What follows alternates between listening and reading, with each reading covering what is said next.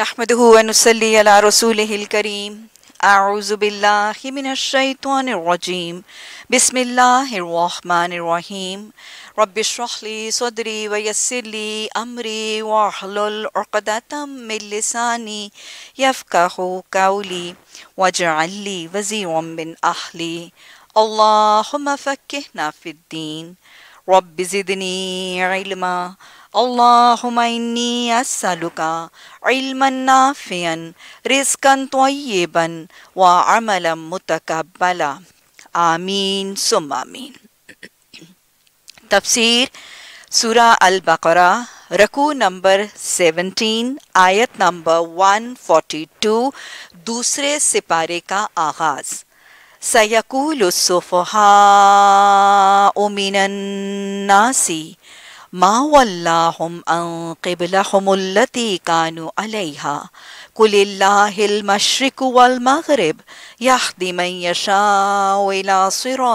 मुस्तकीम अन करीब वो नादान लोग कहेंगे कि इन्हें क्या हुआ कि पहले जिस किबले की तरफ़ रुख करके नमाज़ पढ़ते थे, उससे यका यक फिर गए? इनसे कहो, मशरक और मगरिब तो सब अल्लाह के हैं। अल्लाह जिसे चाहता है सीधी रात दिखा देता है। अल्लाहुम्मा मुस्तकीम।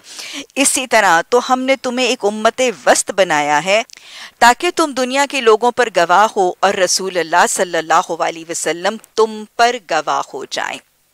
यहाँ से आगे तहवील किबला का तस्करा और रूदात और उस पर तबसरा कुछ दो रकुआत में आगे जारी रहेगा। ये सारे रकुआत जो बातें हैं, इनको पढ़ने से पहले अगर मैं मुख्तसरा उसकी रूदात सुना दूँ तो इन समझना आसान हो जाएगा।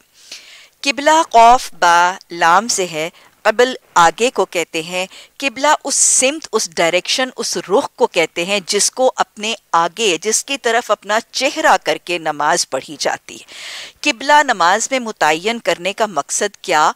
ताकि जब सारी उम्मत के अफराद अपनी नमाज़ में एक रुख, एक सिमत, एक डायरेक्शन करेंगे तो ये इत्तेहाद उम्मत मुस्लिमा का ज़रिया बनेगा। उम्मत का इतिहाद उनका इत्तेफाक, उनकी आपस की यगानगत। वो जो इलामा इकबाल ने फरमाया ना, एक हो मुस्लिम हरम की पासबानी के लिए, नील के साहिल से लेकर ताब खाके काशगर तो ये ये वही तस्वुर है कि किबला एक होगा तो फिर उनका महवर, उनका मरकज, उनकी अकीदतों का पॉइंट जो है वो एक होगा। उनकी निगाहें, उनके नज़रिए, उनके जाविया हयात एक होंगे तो फिर वो मुतहद और मुतफिक सीसा पिलाई पिलाई हुई दीवार बुनियानो मरसूस बन जाएँगे, कुफर और बातिल के खिलाफ। तो ये मकसद है बुनियादी तौर पर किबले का। किबले की तारीख अगर दोहरा लीजिए तो जैसे हमें कुरान में ही पता चलता है इन अव्वला बैत नास सबसे पहली इमारत जो इस रुए ज़मीन पर, उभार ज़मीन पर निकला था, वो खाना काबा की इमारत थी, और यही किबला सबसे पहले मुकर्र किया गया था। हज़रत आदम से लेकर आगे अम्बिया का किबला यही था। उसके बाद जब फ़लस्तीन में बनी इसराइल के लोग आबाद हुए और वहाँ पे बैतुल मकदस की तामीर और हैकल सुलेमानी की तामीर हुई तो उनकी सहूलत और उनकी आसानी के लिए किबला बैतुल मकदस को मुकर कर दिया गया। यहूद का, ईसाइयों का। लेकिन जब हम यहाँ पे भी पढ़ेंगे। तो हालाँकि उनकी, उनका किबला बैतुल मकदस मस्जिद अक्सा थी, लेकिन उसके बावजूद वो उसके मुख्तलिफ़ सिमत को, हज़रत मरियम सलाम चूँकि वो मकान शर्किया मशकी किनारे पर वो पर्दा करके बैठी थी और वहाँ पे वो अपनी इबादत करती थी हैकल के किनारे में। तो लिहाजा उस हवाले से ईसाई जो है, वो मशरकी किनारा जो है, बैतुल मकदस का कोना, उसको अपना किबला मानते हैं। और यहूदियों ने चूँकि अपने मुतबरक़ात जो हैं, वो मन, सलवा, वो जो ताबूत सकीना में उन्होंने दफन किया था, वो मगरबी गोशे में था। इसलिए उनकी अकीदत और उनका किबला जो है, वो बैतुल मकदस का मगरबी कोना था। एक ही इमारत के कोने मुख्तलिफ़ कर लिए थे और ये उनके किबले की रुदात थी। अब मुश्किन मक्का चूँकि अपने आप को दीन इब्राहिमी पर कहते थे। इनकी अकीदतों और मोहब्बतों का महवर और मरकज हालाँकि उसमें 360 बुत आबाद कर चुके थे, लेकिन इनका महवर और मरकज जो है वो हरम और इनका किबला जो है वो हरम था। अब जब नबी सल्लल्लाहु अलैहि वसल्लम को नबूवत से नवाजा गया तो आप सल्लल्लाहु अलैहि वसल्लम के पैरोकारों का इब्तदाई किबला, जिसको हम इस हवाले से बैतुल मकदस को किबला अव्वल कहते हैं, पहला किबला जो मुसलमानों के लिए मुकर किया गया, वो बैतुल मकदस को किया गया। इसमें क्या हिकमत थी? एक तो सबसे बड़ी वजह ये थी कि अल्लाह ये लोग जो नबी सल्लल्लाहु अलैहि वसल्लम की दावत पर कबूल कर रहे थे इस्लाम और दायरा इस्लाम में नौ मुस्लिम बन के दाखिल हो रहे थे, अल्लाह अब इनकी ईमान और इनकी अतात के पैमाने को परखना चाहता था कि अपने आबाई किबले को छोड़कर अतीउल्लाह व अतीउर रसूल सल्लल्लाहु अलैहि वसल्लम करके अब बैतुल मकदस को अपना किबला बनाते हैं। वो हरम जिसके साथ इनके आबाव अजदाद की और इनके दिल जुड़े थे और इनकी अकीदतों का महबर और मरकज था, अल्लाह और अल्लाह के रसूल सल्लल्लाहु अलैहि वसल्लम की अतात में अपने उन आबा की तकलीद को तर्क करके, क्या ये उस किबले को छोड़ के फलस्तीन के उस बैतुल मकदस को अपना किबला बनाते हैं कि नहीं? आजमाने के लिए ये किबला बनाया गया। दूसरी बात यह है कि मुसलमानों को अपने दौर के जो अहले किताब और हामिलाने किताब और नबियों को मानने वाले हैं, उनके साथ ज़रा थोड़ा सा मुतफिक और जोड़ा गया। और सबसे तीसरी बात यह है कि मक्का की बस्ती में मुसलमान जो हैं, उनके किबले को मुशकिन मक्का के किबले से डिफ्रेंशिएट और फ़र्क करने के लिए मक्का में किबला जो है, वो बैतुलमकदस मुसलमानों के लिए मुकर कर दिया गया। अब लेकिन जब मुसलमान मक्का की बस्ती में थे। हिजरत से पहले मुसलमानों को बैतुल मकदस को अपना किबला बनाने और अपनी सिमत उस तरफ़ करने में कोई ख़ास तरद नहीं था। और इसकी वजह अगर आप जोग्राफिकल प्लेसिंग देखें तो मक्का मक्का से हरम की डायरेक्शन भी शुमाल की तरफ़ है और बैतुल मकदस की डायरेक्शन भी नॉर्थ या शुमाल की तरफ़ है। इसलिए जब मक्का के लोग, मुसलमान मक्का के नौ मुस्लिम जो हैं, वो जब बैतुल मकदस की तरफ़ अपना सिमत किबले का करते थे तो नेट डायरेक्शन बुनियादी तौर पर हरम ही की तरफ़ रहती थी। इसलिए सिर्फ़ अपनी जहनों और सोचों में उनको एक अलग किबला बसाना पड़ता था, लेकिन नेट डायरेक्शन वही थी। इसलिए मक्का की बस्ती में हिज्जत से पहले मुसलमानों को कोई इतनी मुशक्कत और इतना भारी नहीं लगा। असल ये हुक्म भारी तब हुआ जब हिजरत करके नबी सल्लल्लाहु अलैहि वसल्लम और सहाबा कराम मक्का से मदीना चले गए। अब मदीना में पोजीशनिंग बिल्कुल फ़र्क हो गई। मदीना से बैतुल मकदस शुमाल की तरफ़ और हरम जो है वो जनूब की तरफ़ था। अब जब वो शुमाल की तरफ़, बैतुल मकदस की तरफ़ मुँह करके नमाज़ पढ़ते थे तो इनकी पुश्त हरम और खाना काबा की तरफ़ हो जाती थी। ये इनके लिए बहुत भारी था। इनके दिल तो पहले ही हरम से जुड़े थे, काबा से मोहब्बत थी और फिर अब मदीना हिजरत करके आने के बाद इनको जुदाई का एहसास भी तड़पा रहा था। मक्का की बस्ती और करम से उदासी भी इनको सता रही थी। और आप देखें कि जब नबी सल्लल्लाहु अलैहि वसल्लम हिजरत करके तशरीफ़ लेके गए, मक्का की बस्ती और हरम की इमारत तो वो है कि जब मैं और आप वहाँ से निकलते हैं उम्र और हज करके तो हम पलट पलट के देख के हमारी आँखों से आँसू जारी होते हैं। नबी सल्लल्लाहु अलैहि वसल्लम हिजरत के वक्त जब अपनी ऊँटनी पर सवार थे तो आप मुड़ मुड़ के मक्का की बस्ती को देख रहे थे और फरमा रहे थे कि मक्का, तू मुझे तमाम दुनिया की बस्तियों से ज़्यादा महबूब है। और अगर तेरे रहने वाले मुझे ना निकालते तो मैं तुझे कभी छोड़ के ना जाता। तो ये उदासी, ये दुख की कैफियत, ये जुदाई का एहसास, और उस पर अब उसी महबूब इमारत की तरफ़ और मक्का की तरफ़ पुष्ट करके नमाज़ पढ़ना, ये ये बहुत बड़ी आजमाइश थी। नबी सल्लल्लाहु अलैहि वसल्लम तक की कैफियत, अगली आयात में आप पढ़ेंगे, कद नरा तकल्लुबा का वज, तकल्लुब वजह का समाई। आपका तो चेहरा आसमान की तरफ़ हम बार बार उठना देख रहे नबी सल्लल्लाहु अलैहि वसल्लम तक के दिल में ये ख्वाहिश आ रही थी और आप दुआ कर रहे थे कि अल्लाह इस आजमाइश को टाल, हमारा किबला जो है वो वापस हरम की तरफ़ फेर दे। तो ये बहुत एक भारी सा एक कैफियत थी जो आप सल्लल्लाहु अलैहि वसल्लम के साथ थी, महाजरीन के लिए और आपके लिए थी। तकरीबन सोलह, साढ़े सोलह या कुछ रवायात में सवा सोलह महीने की आजमाइश के बाद फिर तहवील किबला का हुक्म आया और मोहम्मद सल्लल्लाहु अलैहि वसल्लम को बैतुल मकदस, जिसे हम किबला अव्वल कहते हैं, इससे मुँह फेर कर अपनी नमाज़ में किबला हरम को बनाने का हुक्म दे दिया गया। इसकी बुनियादी तौर पर अब क्या वजूहत थी? सबसे पहले तो अल्लाह के हबीब सल्लल्लाहु अलैहि वसल्लम की ख्वाहिश, कद नरा तकल्लुबा वजह का फिसमा अल्लाह सुबहाना ताला के हबीब की ख्वाहिश है, उनकी आरज़ू, उनकी तमन्ना है उनको ये भारी लग रहा है। तो अल्लाह सुबहाना ताला ने अपने हबीब की रजा और उनकी खुशनुदी और उनकी ख्वाहिश का मान रखा। इसी तरह सहाबा इकराम जो रज़ी अल्लाह वन रज़ी अल्लाह व रजून अल्लाह उनकी रजा को इतना मुकदम रखता है तो उनकी भी ख्वाहिश जो थी, उसकी वजह से भी पेश नज़र रख के किबला फेरा गया। और फिर दूसरी बात है कि अल्लाह सुबहाना तला अब इनको फिर से आजमाना चाहता था। अल्लाह इनको फिर से आजमाना चाहता था कि मैं देखूँ कि ये मेरी अतात में अपनी सिमत घुमाते हैं कि नहीं घुमाते। कभी मैं इन्हें कहूँ शुमाल करो, कभी मैं इन्हें कहूँ जनूब करो, कभी मैं इन्हें कहूँ दाएँ हो जाओ, कभी मैं उन्हें कहूँ बाएँ हो जाओ, मेरी मर्ज़ी पे घूमते हैं कि नहीं घूमते। वो कंपस की सुई की तरह मुस्लिमन हनीफन बन के अपनी अतात का पैमाना मुझे बनाते हैं कि नहीं बनाते। बार बार किबला सिमत चेंज होने की वजह से इनका जो मज़ाक उड़ाया जाएगा, वला खाफून लाइम करके मेरी अतात पे जमते हैं कि नहीं जमते, ये इनको आजमाया जा रहा था कि इन्होंने अपनी बागे मेरे हाथ में थमाई है कि नहीं थमाई, दाएँ खींचता हूँ, दाएँ जाएँगे, बाएँ खींचता हूँ, बाएँ जाएँगे, ये मुस्लिम हनीफ बने हैं कि नहीं, इनको आजमाने के लिए किया गया था। और फिर ज़ाहिर है, अल्लाह सुबहाना ताला अब चूँकि मक्का में तो मुशकिन से किबला अलग करना था, मदीना में बुनियादी तौर पर मुसलमानों का जो सबका था वो यहूद के साथ था तो यहूद से मुसलमान का किबला अलग और मुमताज़ करना भी मकसूद था। और सबसे बढ़ के ये कि अब अल्लाह सुबहाना ताला अहले किताब पीपल ऑफ़ द बुक उनको माजूल करके, उनसे खिलाफत छीन कर अब ये जानशीनी उम्मत मोहम्मदी सल्लल्लाहु अलैहि वसल्लम को सौंपना चाहता था, इसलिए उनके किबले को घुमा के इस तरफ़ फेर दिया गया। और फिर एक और वजह ये कि असल हकीकी अव्वल से किबला बुनियादी तौर पर तो हरम ही था तो उनको एक्चुअल और ओरिजिनल किबले की तरफ़ फेर दिया गया। ये हुक्म कैसे, कब और किस तरह आया इसमें ये याद रखिएगा कि कुछ मुख्तलिफ़ आरा मुफसरीन देते हैं। कुछ के नज़दीक तो ये तस्वुर है कि आप सल्लल्लाहु अलैहि वसल्लम रात को सो रहे थे तो आपको वही के ज़रिए ख्वाब में बताया गया और आपने फजर की नमाज़ नई किबले से पढ़ी। कुछ के नज़दीक ये इख्तलाफ राय है कि आप चार रकत नमाज़ की इमामत करवा रहे थे। कुछ कहते हैं जहर की नमाज़ थी, कुछ कहते हैं असर की नमाज़ थी और अक्सर की राय में मस्जिद नबी ही थी।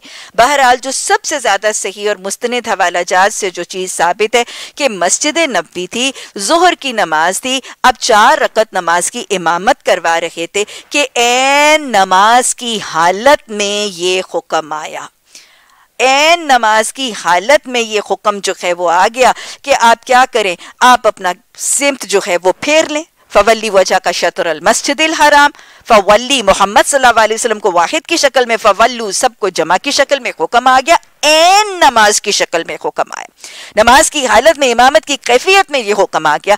मोहम्मद सल्लल्लाहु अलैहि वसल्लम का रवैया और अंदाज, वो जो कल हमने हज़रत इब्राहिम सलाम का हुक्म रवैया देखा था ना कि अल्लाह सुबहाना ताला ने उनको आखिरत में चुने हुए लोगों में शामिल सालहीन में और दुनिया में चुने हुए लोगों में शुमार किया था। उसकी वजह क्या थी? इस कौला लहू रब्बू असलम, कौला असलम तुली रब्बिल कि जो जब जहाँ जैसा हुक्म आ जाता था, उस पर अतात और उसके आगे सरे तस्लीम खम कर देना। नबी मेहरबान सल्लल्लाहु अलैहि वसल्लम ने उस असलम के हुक्म के बाद असलम तू समेना के बाद अतवाना, और अतीउल्लाह का इतना ज़बरदस्त नमूना कि ना कोई तरद ना कोई डिले, ना कोई पोस्टपोनमेंट, ना कोई सवाल जवाब ये भी नहीं सोचा गया कि सलाम फेरने के बाद अगली नमाज़ में होगा, आप वहीं अपनी एड़ियों पे घूम गए और आपने अपने किबले की सिमत चेंज कर दी। अतीउल्लाह का ज़बरदस्त नमूना। और फिर सहाबा कराम ने क्या किया? उन्होंने अतीउल्लाह व अतीउर रसूल सल्लल्लाहु अलैहि वसल्लम का ज़बरदस्त मुजाहिरा। आप सल्लल्लाहु अलैहि वसल्लम तो घूमे थे, आपको सिर्फ़ एड़ियों पे घूमना, अपने सिमत को चेंज करने के लिए ज़रूरी था। लेकिन सहाबा कराम तो अपनी एड़ियों पे वहीं रुख चेंज नहीं कर सकते थे, क्योंकि इस तरह अगर होता तो फिर इमाम पीछे और मुक्तदी आगे हो जाते। तमाम सहाबा कराम के लिए ये लाजिम था कि वो पूरी की पूरी अपनी सफ़ों को नबी सल्लल्लाहु अलैहि वसल्लम के पीछे मुंतकिल की जाएँगे and you me, what exactly happened was ज़बरदस्त नज्म जब्त ज़बरदस्त डिसिप्लिन के साथ पूरी की पूरी सफे घूम गई थी, सारे के सारे सहाबा इकराम। और हमें पता चलता है कि यहाँ पे खातन भी पिछली सफ में थी। इतना ज़बरदस्त डिसिप्लिन कोई एक शख्स ना रुका था, ना बहस, ना तकरार, ना कीलो काल ना क्वेश्चनिंग ना तरद ना किसी किस्म का डिले ना पोस्टपोनमेंट सारी की सारी सफ़े जो है वो पलट के रुख चेंज हो गया था। ये था वो अतीउल्लाह, व अतीउर रसूल सल्लल्लाहु अलैहि वसल्लम का ज़बरदस्त नमूना। और ये है बुनियादी तौर पर जो सबक हमने इस वाक्य से लेना है। बहरहाल, अब कुछ लोग इस पर यह कहते हैं कि ये सहाबा कराम तो ऐसी ज़बरदस्त अतात करते थे कि ज़ाहिर है, इनके तो सामने, इनकी आँखों के सामने वही नाजिल हुई थी। इनके आँखों के सामने नबी सल्लल्लाहु अलैहि वसल्लम की सुन्नत जो है, वो रकम हुई थी। तो अपनी आँखों से देखने के बाद मानना कौन सा मुश्किल था? एक और रुदाद इसके बाद। यहाँ पर एक सहाबी ने मेरे और आपके लिए बहुत बड़ा आई ओपनर, यहाँ पर नबी सल्लल्लाहु अलैहि वसल्लम की इमामत में इक्तदा में जिस सहाबी ने नमाज़ पढ़ी और फिर असर की नमाज़ में या ताखिर से पढ़े जाने वाली एक और नमाज़ में मस्जिद किबलातैन जो मदीना के सबर्ब्स में और आउटस्कर्ट्स में थी, वहाँ पे पहुँचे। उन लोगों तक अभी ये आयात नहीं पहुँची, नबी सल्लल्लाहु अलैहि वसल्लम का ये सुन्नत नहीं पहुँची। वो नमाज़ की हालत में इमामत हो रही है। ये सहाबी जो बदले हुए किबले से नमाज़ अदा करके गए हैं, उन्होंने कुरान की आयात सुनाई है, नबी सल्लल्लाहु अलैहि वसल्लम के पलटने की सुन्नत बताई है। ये सहाबा इकराम, इन्होंने अपनी आँखों से नहीं देखा था, अपनी कानों से नहीं सुना था, नबी सल्लल्लाहु अलैहि वसल्लम को घूमते नहीं देखा था, ना आँखों से देखा, ना कानों से सुना, मेरे और आप किसी कैफियत थी ईमान बिल गैब की कैफियत थी उस पर अतात थी, ये सब के सब नमाज़ की हालत में उसी तरह घूम गए थे, जैसे मस्जिद नबी के लोग घूम गए थे। ये है असल पैगाम जो हमें तहवील किबला का हुक्म बताता है। अतीउल्लाह व अती रसूल, समेना व अतवाना असलम के बाद असलम तो जो जब जहाँ जैसा हुक्म आ जाए, बगैर तरद डिले, पोस्टपोनमेंट की लोकाल क्रॉस, क्वेश्चनिंग, इंटेरोगेशन, शक, फ़ौरन अल्लाह की अतात अल्लाह हमें ऐसे अपने आप को हवाले करने वाला मुस्लिम और मोमिन बना दे। अल्लाह अपने इख्तियार अमल से दस्तबरदार होने वाला मुस्लिम और मोमिन बना दे। अब पढ़ेंगे तो इनशाला समझ आएगी। पहले जिस तरफ़ तुम रुख करते थे, उसको तो हमने सिर्फ़ ये देखने के लिए किबला मुकर किया था कि कौन अलैहि वसल्लम की पैरवी करता है और कौन उल्टा फिर जाता है। ये मामला था तो बड़ा सख्त, मगर उन लोगों के लिए कुछ भी सख्त साबित ना हुआ जो अल्लाह की हदायत से फैज़याब थे।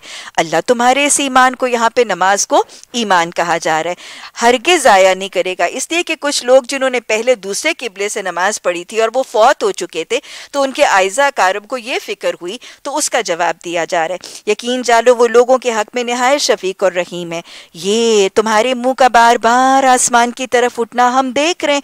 लो, हम इस किबले की तरफ़ तुम्हें फेर देते हैं, जिसे तुम पसंद करते हो। पता चला तहवील किबला हुआ क्यों था?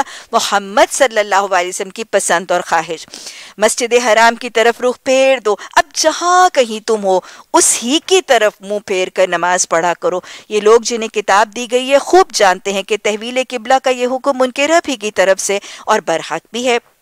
मगर इसके बावजूद जो कुछ ये कर रहे हैं, अल्लाह उससे गाफिल नहीं। तुम इन अहले किताब के पास खा कोई निशानी ले आओगे? मुमकिन नहीं कि ये तुम्हारे किबले की पैरवी करने लगे।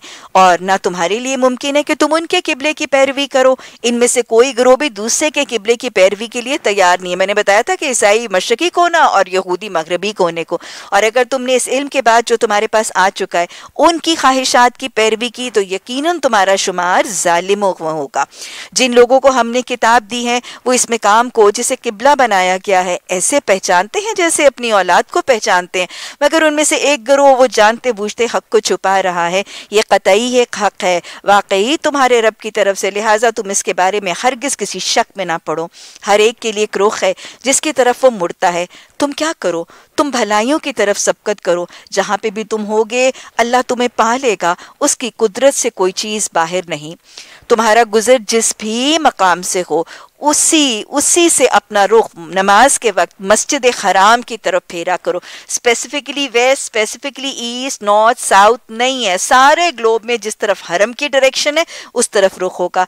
क्योंकि ये तुम्हारे रब का बिल्कुल बरहक फैसला है। और अल्लाह तुम लोगों के अमाल से बेखबर नहीं। और जहाँ से भी तुम्हारा गुजर हो, अपना रुख मस्जिद हराम की तरफ़ फेरा करो। और जहाँ भी तुम हो, उसी की तरफ़ मुँह करके नमाज़ पढ़ा करो, ताकि लोगों को तुम्हारे खिलाफ कोई हजत ना मिले। हाँ जो जालिम हैं, उनकी ज़बान तो किसी हाल में बंद नहीं होगी। तो क्या करो? अपने खौफ के पैमाने को कैसे टाइट्रेट करो? फला तख्शौ हम नी डरना किससे डरना दुनिया के मालिकों से नहीं, मालिकुल मुल्क से, दुनिया के हाकमों से नहीं, अहकमुल हाकमीन से।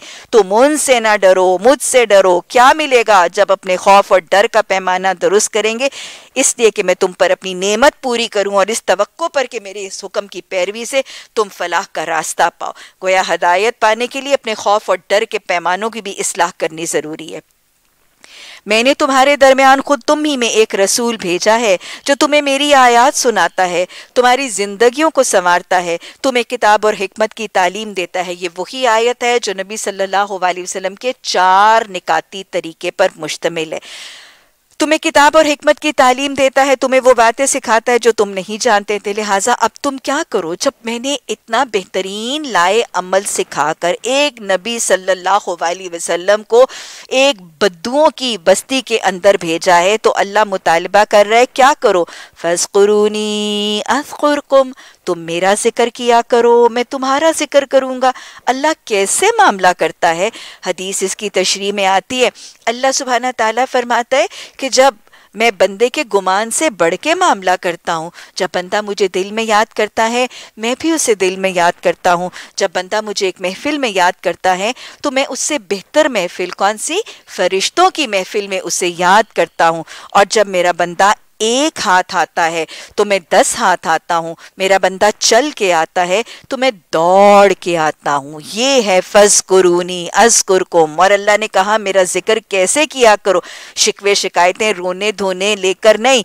वशकुरूली मेरी नेमतों का शुक्र किया करो। वाला तक मेरी नेमतों का कुफरान कुफरान नेमत ना किया करो। का का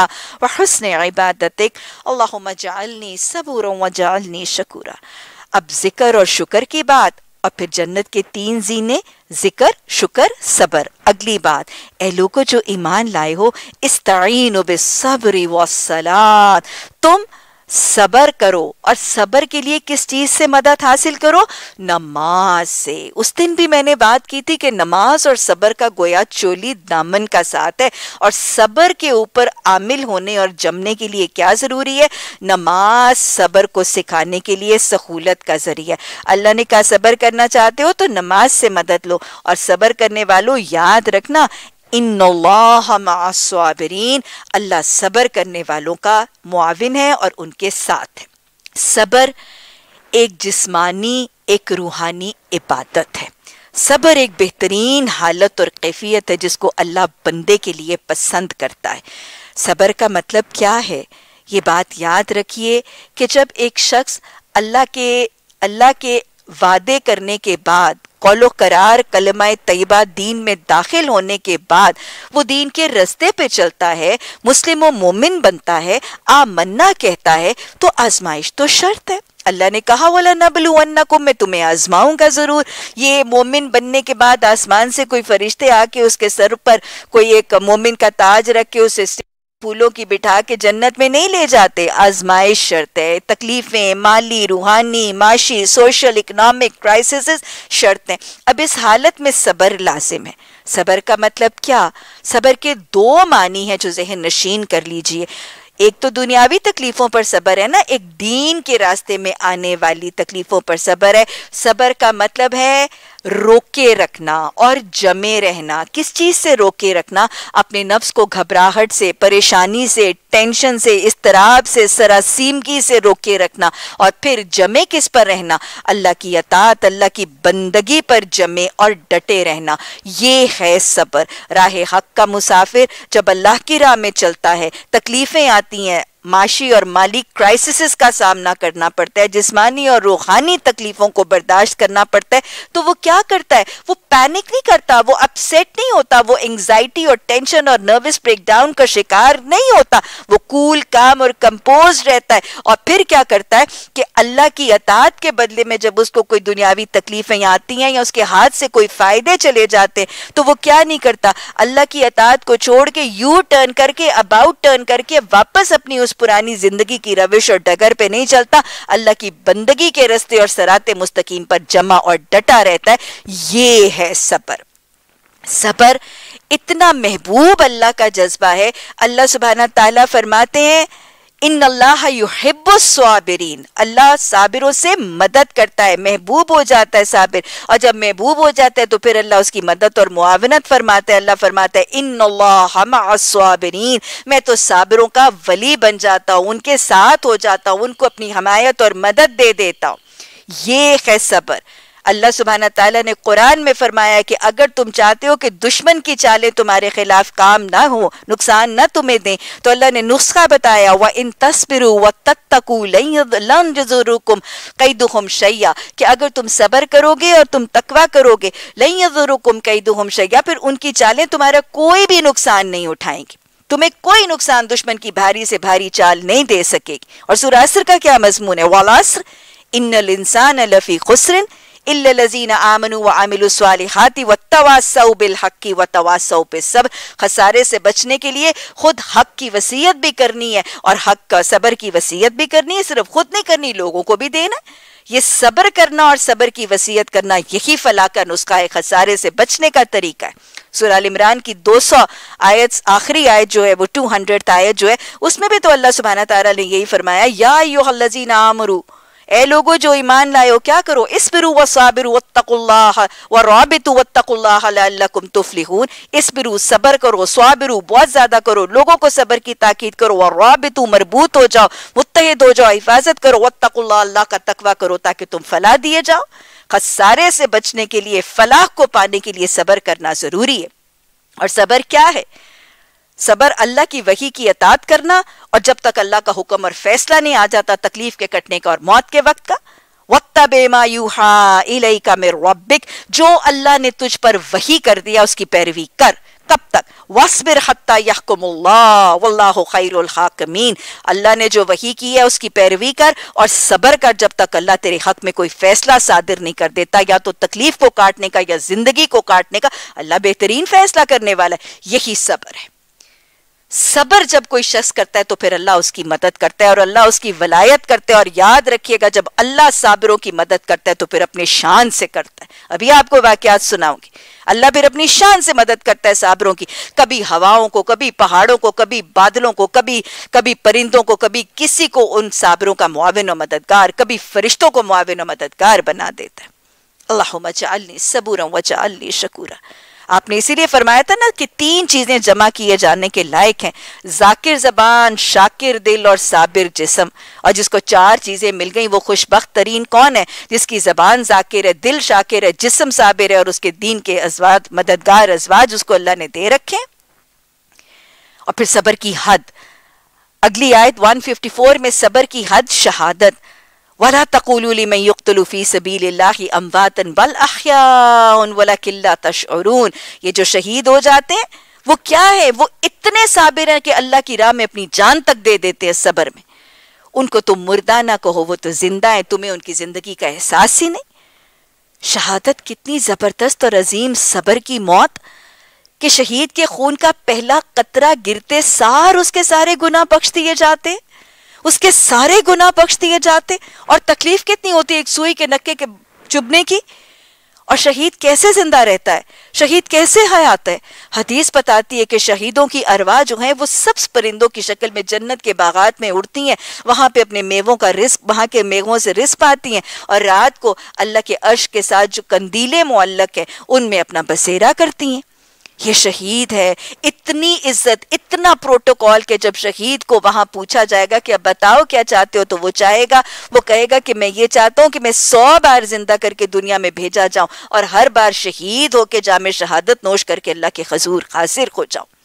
अल्लाह से अल्लाह से खलूस दिल और तहे दिल से शहादत की दुआ मांगा करें। अल्लाह मरजुकना शहादतन फ़ी क्योंकि वो बहुत ही प्यारा सा वादा है ना कि कोई शख्स जब दिल खलूस, दिल से शहादत की दुआ मांगते हैं और उसको मौत बिस्तर मर्ग पर आती है तो भी, क्योंकि मौत तो अल्लाह के हुक्म से आनी है ना तो भी उसे शहादत का अजर लिख दिया जाएगा। तो अल्लाह ने इसके बाद फरमाया वलना को मैं आजमाऊँगा तुम्हें ज़रूर। अल्लाह ने कह दिया, मैं आजमाऊँगा तुम्हें ज़रूर और फिर कैसे आजमाऊँगा? उसने बताया, खौफ से, भूख से, मालों की कमी से, जानों और फलों की कमी से। वलनबलुवन्नकुम। राह हक पे सरात मुस्तकीम पर चलने वालों, आमन्ना कहने वालों को, ये कदम कदम बलाएँ, सवाद कुए जाना, वो यहीं से लौट जाएँ जिन्हें ज़िंदगी हो प्यारी आजमाइश शर्त अल्लाह कह रहे मैं ज़रूर तो फिर ज़रूर होगा कैसे कैसे आजमाए गए? नबी सल्लल्लाहु अलैहि वसल्लम, सहाबा इकराम जो हैं, वो आजमाए गए। लेकिन याद रखिएगा, किससे सुनाऊँगी, रुदादे सुनाऊँगी, लेकिन हर किस्से में आपको ये बात नज़र आएगी कि इन अल्लाह हुआ ज़रूर था। अल्लाह की मदद आई ज़रूर थी। अल्लाह साबिर को छोड़ता नहीं है अल्लाह साबिर को तोड़ता नहीं है खौफ से आजमाए गए थे। मोहम्मद सल्लल्लाहु अलैहि वसल्लम की हिजरत की रात याद है? साहबा कराम तो पहले चौक दर चौक हिजरत कर रहे थे। आप मुंतजर थे कि अल्लाह का हुक्म आएगा तो फिर हिजरत हिजरत का हुक्म किस रात आया? उस रात जब वो खूनी दरिंदे आप सल्लल्लाहु अलैहि वसल्लम की कत्ल की साजिश दारुल नदवा में कर चुके थे। हर कबीले का एक एक शख्स मिलकर मोहम्मद सल्लल्लाहु अलैहि वसल्लम पर धावा बोलेगा और नाउजुबिल्ला आपको कत्ल कर देगा। इस मौके पर खौफ रात को हुक्म आया कि आज रात को हिजरत मोहम्मद सल्लल्लाहु अलैहि वसल्लम आप करके जाएँगे और उधर महासरा घर का इन खून खार दरिंदों ने, भेड़ियों ने कर लिया हुआ क्या ख्याल है? खौफ नहीं? खौफ अपनी जान का, माल का, इसमत का, आबरू का खौफ, अपने घर का, अपनी तमाम चीज़ों का खौफ, और फिर जवान बेटियाँ वो चार जवान बेटियाँ जिनको घर में पीछे मक्का में छोड़ के जाएँगे, उनकी इज़्ज़त, उनकी जान माल, फातिमा मेरे जिसम का टुकड़ा है। वो फातिमा रज़ी अल्लाह को ताला वो तमाम बेटियाँ उनको छोड़ के जा रहे हैं। क्या खौफ नहीं था? इतना ज़्यादा खौफ। लेकिन उसमें क्या ये क्या ये अंदाज नज़र आता है कि आज आज नहीं, कल कर लूँगा? असलिम आया है तो असलम तो ज़रूर होगा। ये हिजरत जब हुक्म आज आ गया तो ना इसमें तरद होगा, ना डिले होगी, ना पोस्टपोनमेंट होगा, ना शक होगा। यकीन है कि जब मेरे रब ने हुक्म दे दिया और मैं सबर करूँगा तो फिर अल्लाह की मदद आएगी ज़रूर। अल्लाजीना सबरू अला या यतवक्कलून। जो सबर करके अल्लाह पर तवक्ल करते अल्लाह मदद करेगा। क्या ख्याल है? सबर नज़र आता है, जमे हैं, डटे हैं? और फिर क्या कोई क्या कोई घबराहट और सरा सीमगी नज़र आती है आपको? कोई टेंशन और एंग्जाइटी नज़र आती है? प्रॉफिट सल्लल्लाहु ऐसे लगता है कि टोटली कूल और काम एंड कंपोज है। बिकॉज़ इस हिजरत की रात में भी नबी सल्लल्लाहु अलैहि वसल्लम को अपनी अमानतें लौटाने की याद है। हम पैनिक हो जाते हैं तो हमें कैसी चीज़ें भूल जाती हैं और हमें चीज़ें हमारे हाफजे से निकल जाती हैं। प्रॉफिट सल्लल्लाहु को कोई टेंशन नहीं है, कोई एंगजाइटी नहीं है, कोई पैनिक नहीं है। आपको याद है अपनी अमानतें और अमानतें लौटाने के लिए अली रज़ी अल्लाह को छोड़ जाते ये है सबर। ना घबराहट और परेशानी है, रब पर तवक्कुल है और अतात पर जमे और डटे हैं जायसी मुश्किल हालत।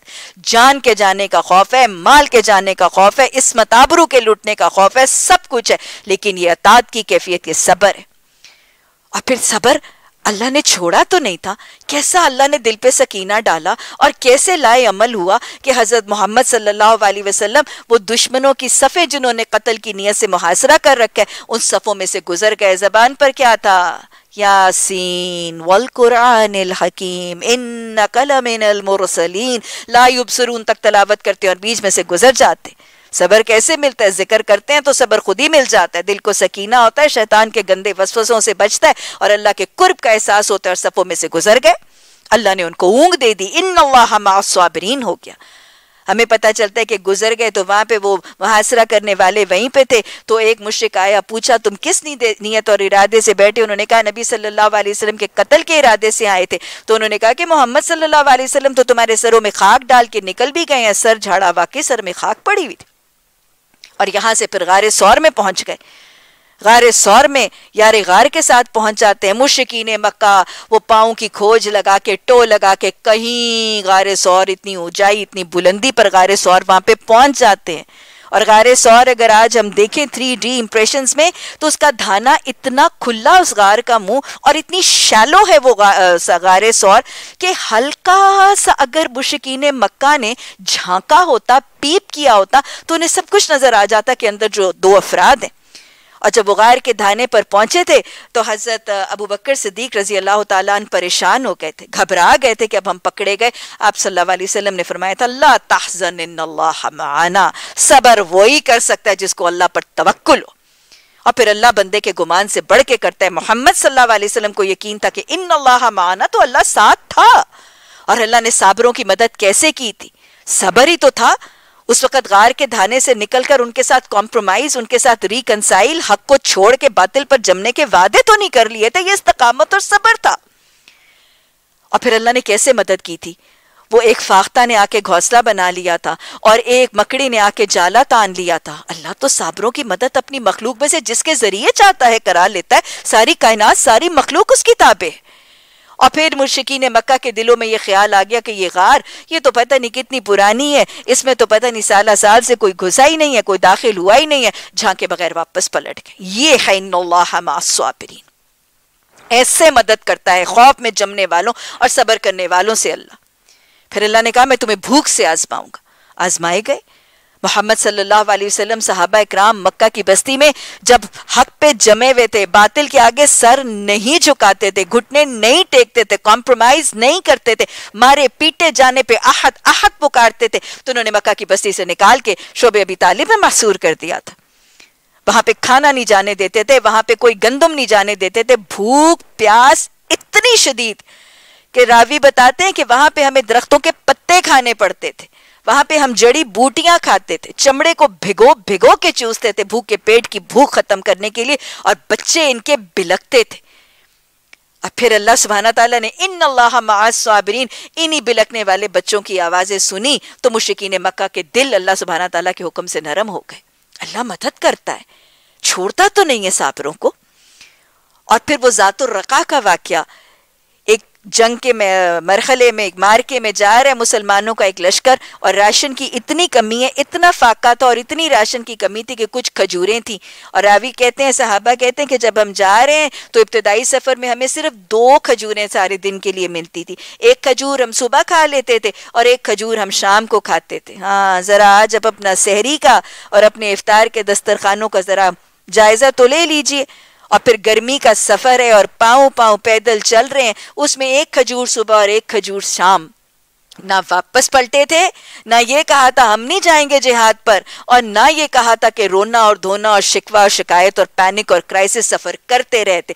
फरमाते हैं कि आगे जाके हाल ही हो गया कि एक खजूर मिलती थी, और फिर उसके साथ अब ये करते थे कि सारा दिन एक फुल ग्रोन एडल्ट मुजाहिद एक खजूर मिलती थी। हम सारा दिन उसको चूस चूस के गुजार देते थे। लेकिन अल्लाह साबरों की मदद करने पे आया तो समुंदर को हुक्म दिया और समुंदर ने साहिल साहिल समुंदर के ऊपर एक बहुत बड़ी सी वेल, मछली उगल के इन साबरों की जियाफत के लिए पेश कर दी। इन साबरीन। इन्होंने वो सी फ़ूड खुद भी खाया, उसको नमक लगाया, जखीरा किया और नबी सल्लल्लाहु अलैहि वसल्लम के लिए भी लाए। अल्लाह छोड़ा नहीं करता। अल्लाह मदद ज़रूर करता है, कभी जल्दी करता है, कभी देर से करता है, लेकिन जहन नशीन कर लीजिए। इन साबरीन की सुन्नत अल्लाह की आती ज़रूर है। फिर अल्लाह कहते हैं, मैं तुम्हें मालों की कमी से आजमाऊँगा। ये बात भी याद रखिएगा कि साबिर जब सबर करता है ना तो उसके लिए फिर अल्लाह बड़ा कदरदान है, बड़ा शकूर है और उसके दर्जात अपने महबूब के बड़े बढ़ा देता है। मालों की कमी से आजमाए गए थे। मक्का का ना एक शहजादा था। हज़रत मुसब बिन उमैर बहुत ही मालदार थे, जवान थे, ऊँचे, लंबे, खूबसूरत थे और बड़े ही नफीस मिजाज और नफीस तबीयत थे। पहनने, ओढ़ने का बहुत ही शौक था और मक्का का जो लोकल मटेरियल और फैब्रिक है, वो नहीं पहनते थे इम्पोर्टेड रेशम पहनते थे। बाहर की खुशबुएँ इस्तेमाल करते थे। इतना लाडला सा और इतना नफीस तबीयत, ये माँ बाप का लाडला सा शहजादा। यहाँ तक कि हज़रत मुसब जो है, वो जब आ रहे होते थे तो दूर ही अभी होते थे। गली की नुक्कड़ से पड़े ही होते थे। तो खुशबू की वजह से दोस्त कहते कहते थे, लगता है मुझसे आ रहा है। इतना पहनने ओढ़ने का शौकीन मिजाज ये शहजादा बस दिल की दुनिया बदल गई।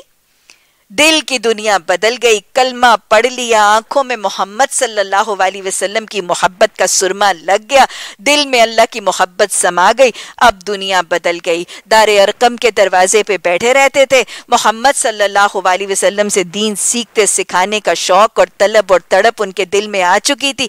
घर वालों ने समझाया, पहले बाप ने, फिर माँ ने, लाड प्यार से, डांट के, खफगी, नाराज़गी से, धमकी से, किसी तरह से नहीं माने, बाप ने मारा माँ ने डांटा, सब कुछ तशद जुल्म, सब कुछ हुआ, फिर कपड़े छीन लिए, घर से निकाल दिया।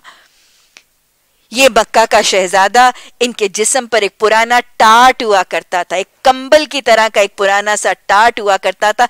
नबी मेहरबा सल्लल्लाहु अलैहि वसल्लम भी मुसब बिन उमैर को देखते थे तो कई दफ़ा आँखों से आँसू जारी हो जाते थे। लेकिन अल्लाह कितना कदरदान है। साबरों के अल्लाह कैसे दर्जे बढ़ा देता है। जब हम देखते हैं कि नबी सल्लल्लाहु अलैहि वसल्लम पर ईमान लाए थे, मदीना से आने वाले लोग। तो दूसरी दफ़ा जब वो लोग आए थे तो बैत उकबा सानिया की दफ़ा मदीना वालों ने कहा था कि, या रसूलुल्लाह सल्लल्लाहु अलैहि वसल्लम, हम आपसे सीख के वापस जाते हैं, लेकिन हम इतनी रवानी से मदीना के लोगों को बता नहीं सकते।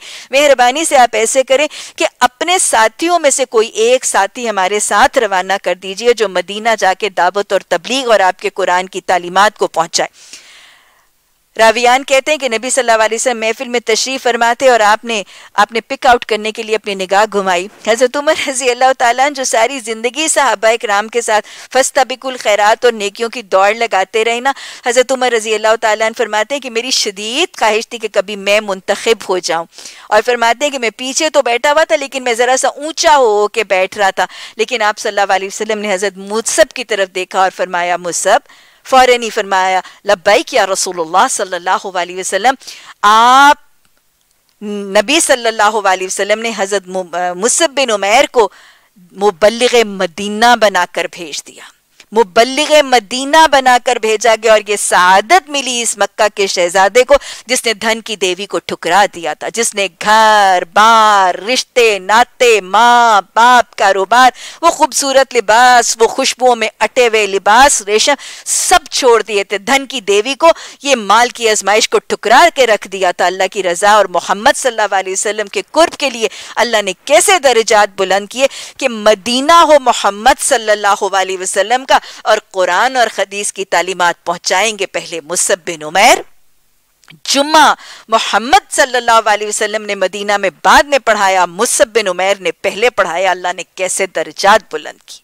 और फिर याद रखिएगा, यही मुसब बिन उमैर है जो सारा कुछ कुर्बान कर आए थे लिल्ला फिल्ला और फिर उसके बाद हिजरत भी कर आए थे। फिर उसके बाद जिहाद का शौक।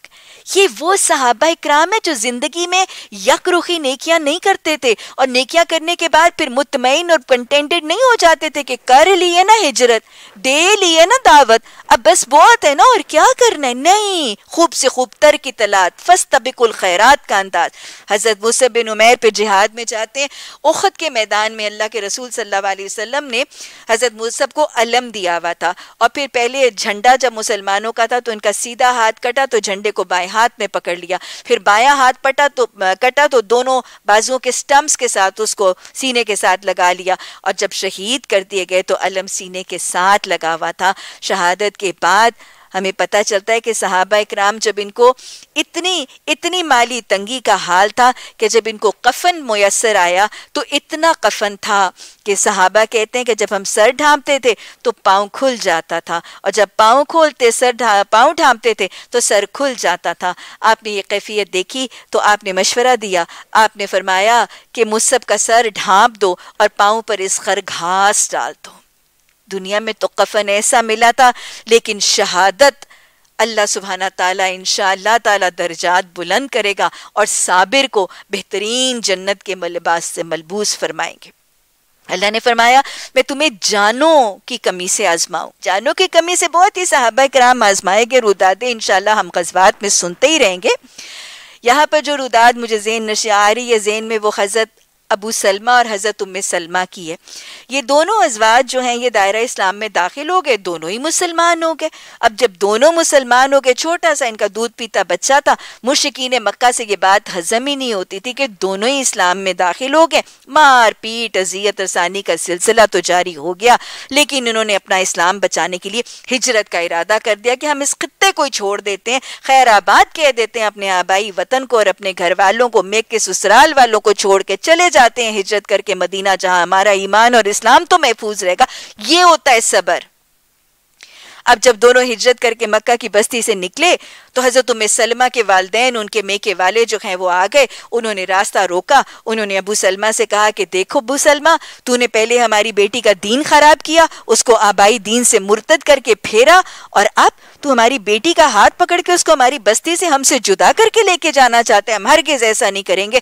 और वो हज़रत उम्मे सलमा को और उनके बेटे को छीन के हज़रत अबू सलमा से ले आए। हज़रत अबू सलमा हिजरत करके मदीना तशरीफ़ ले गए। उम्म सलमा अब मक्का में है और अब वो वो मदीना में है। वजह क्या थी? दोनों को अलग क्यों कर दिया? जुदाई और वसाल की वजह क्या थी दोनों? ईमान पर कालू रब्बुन अल्लाह।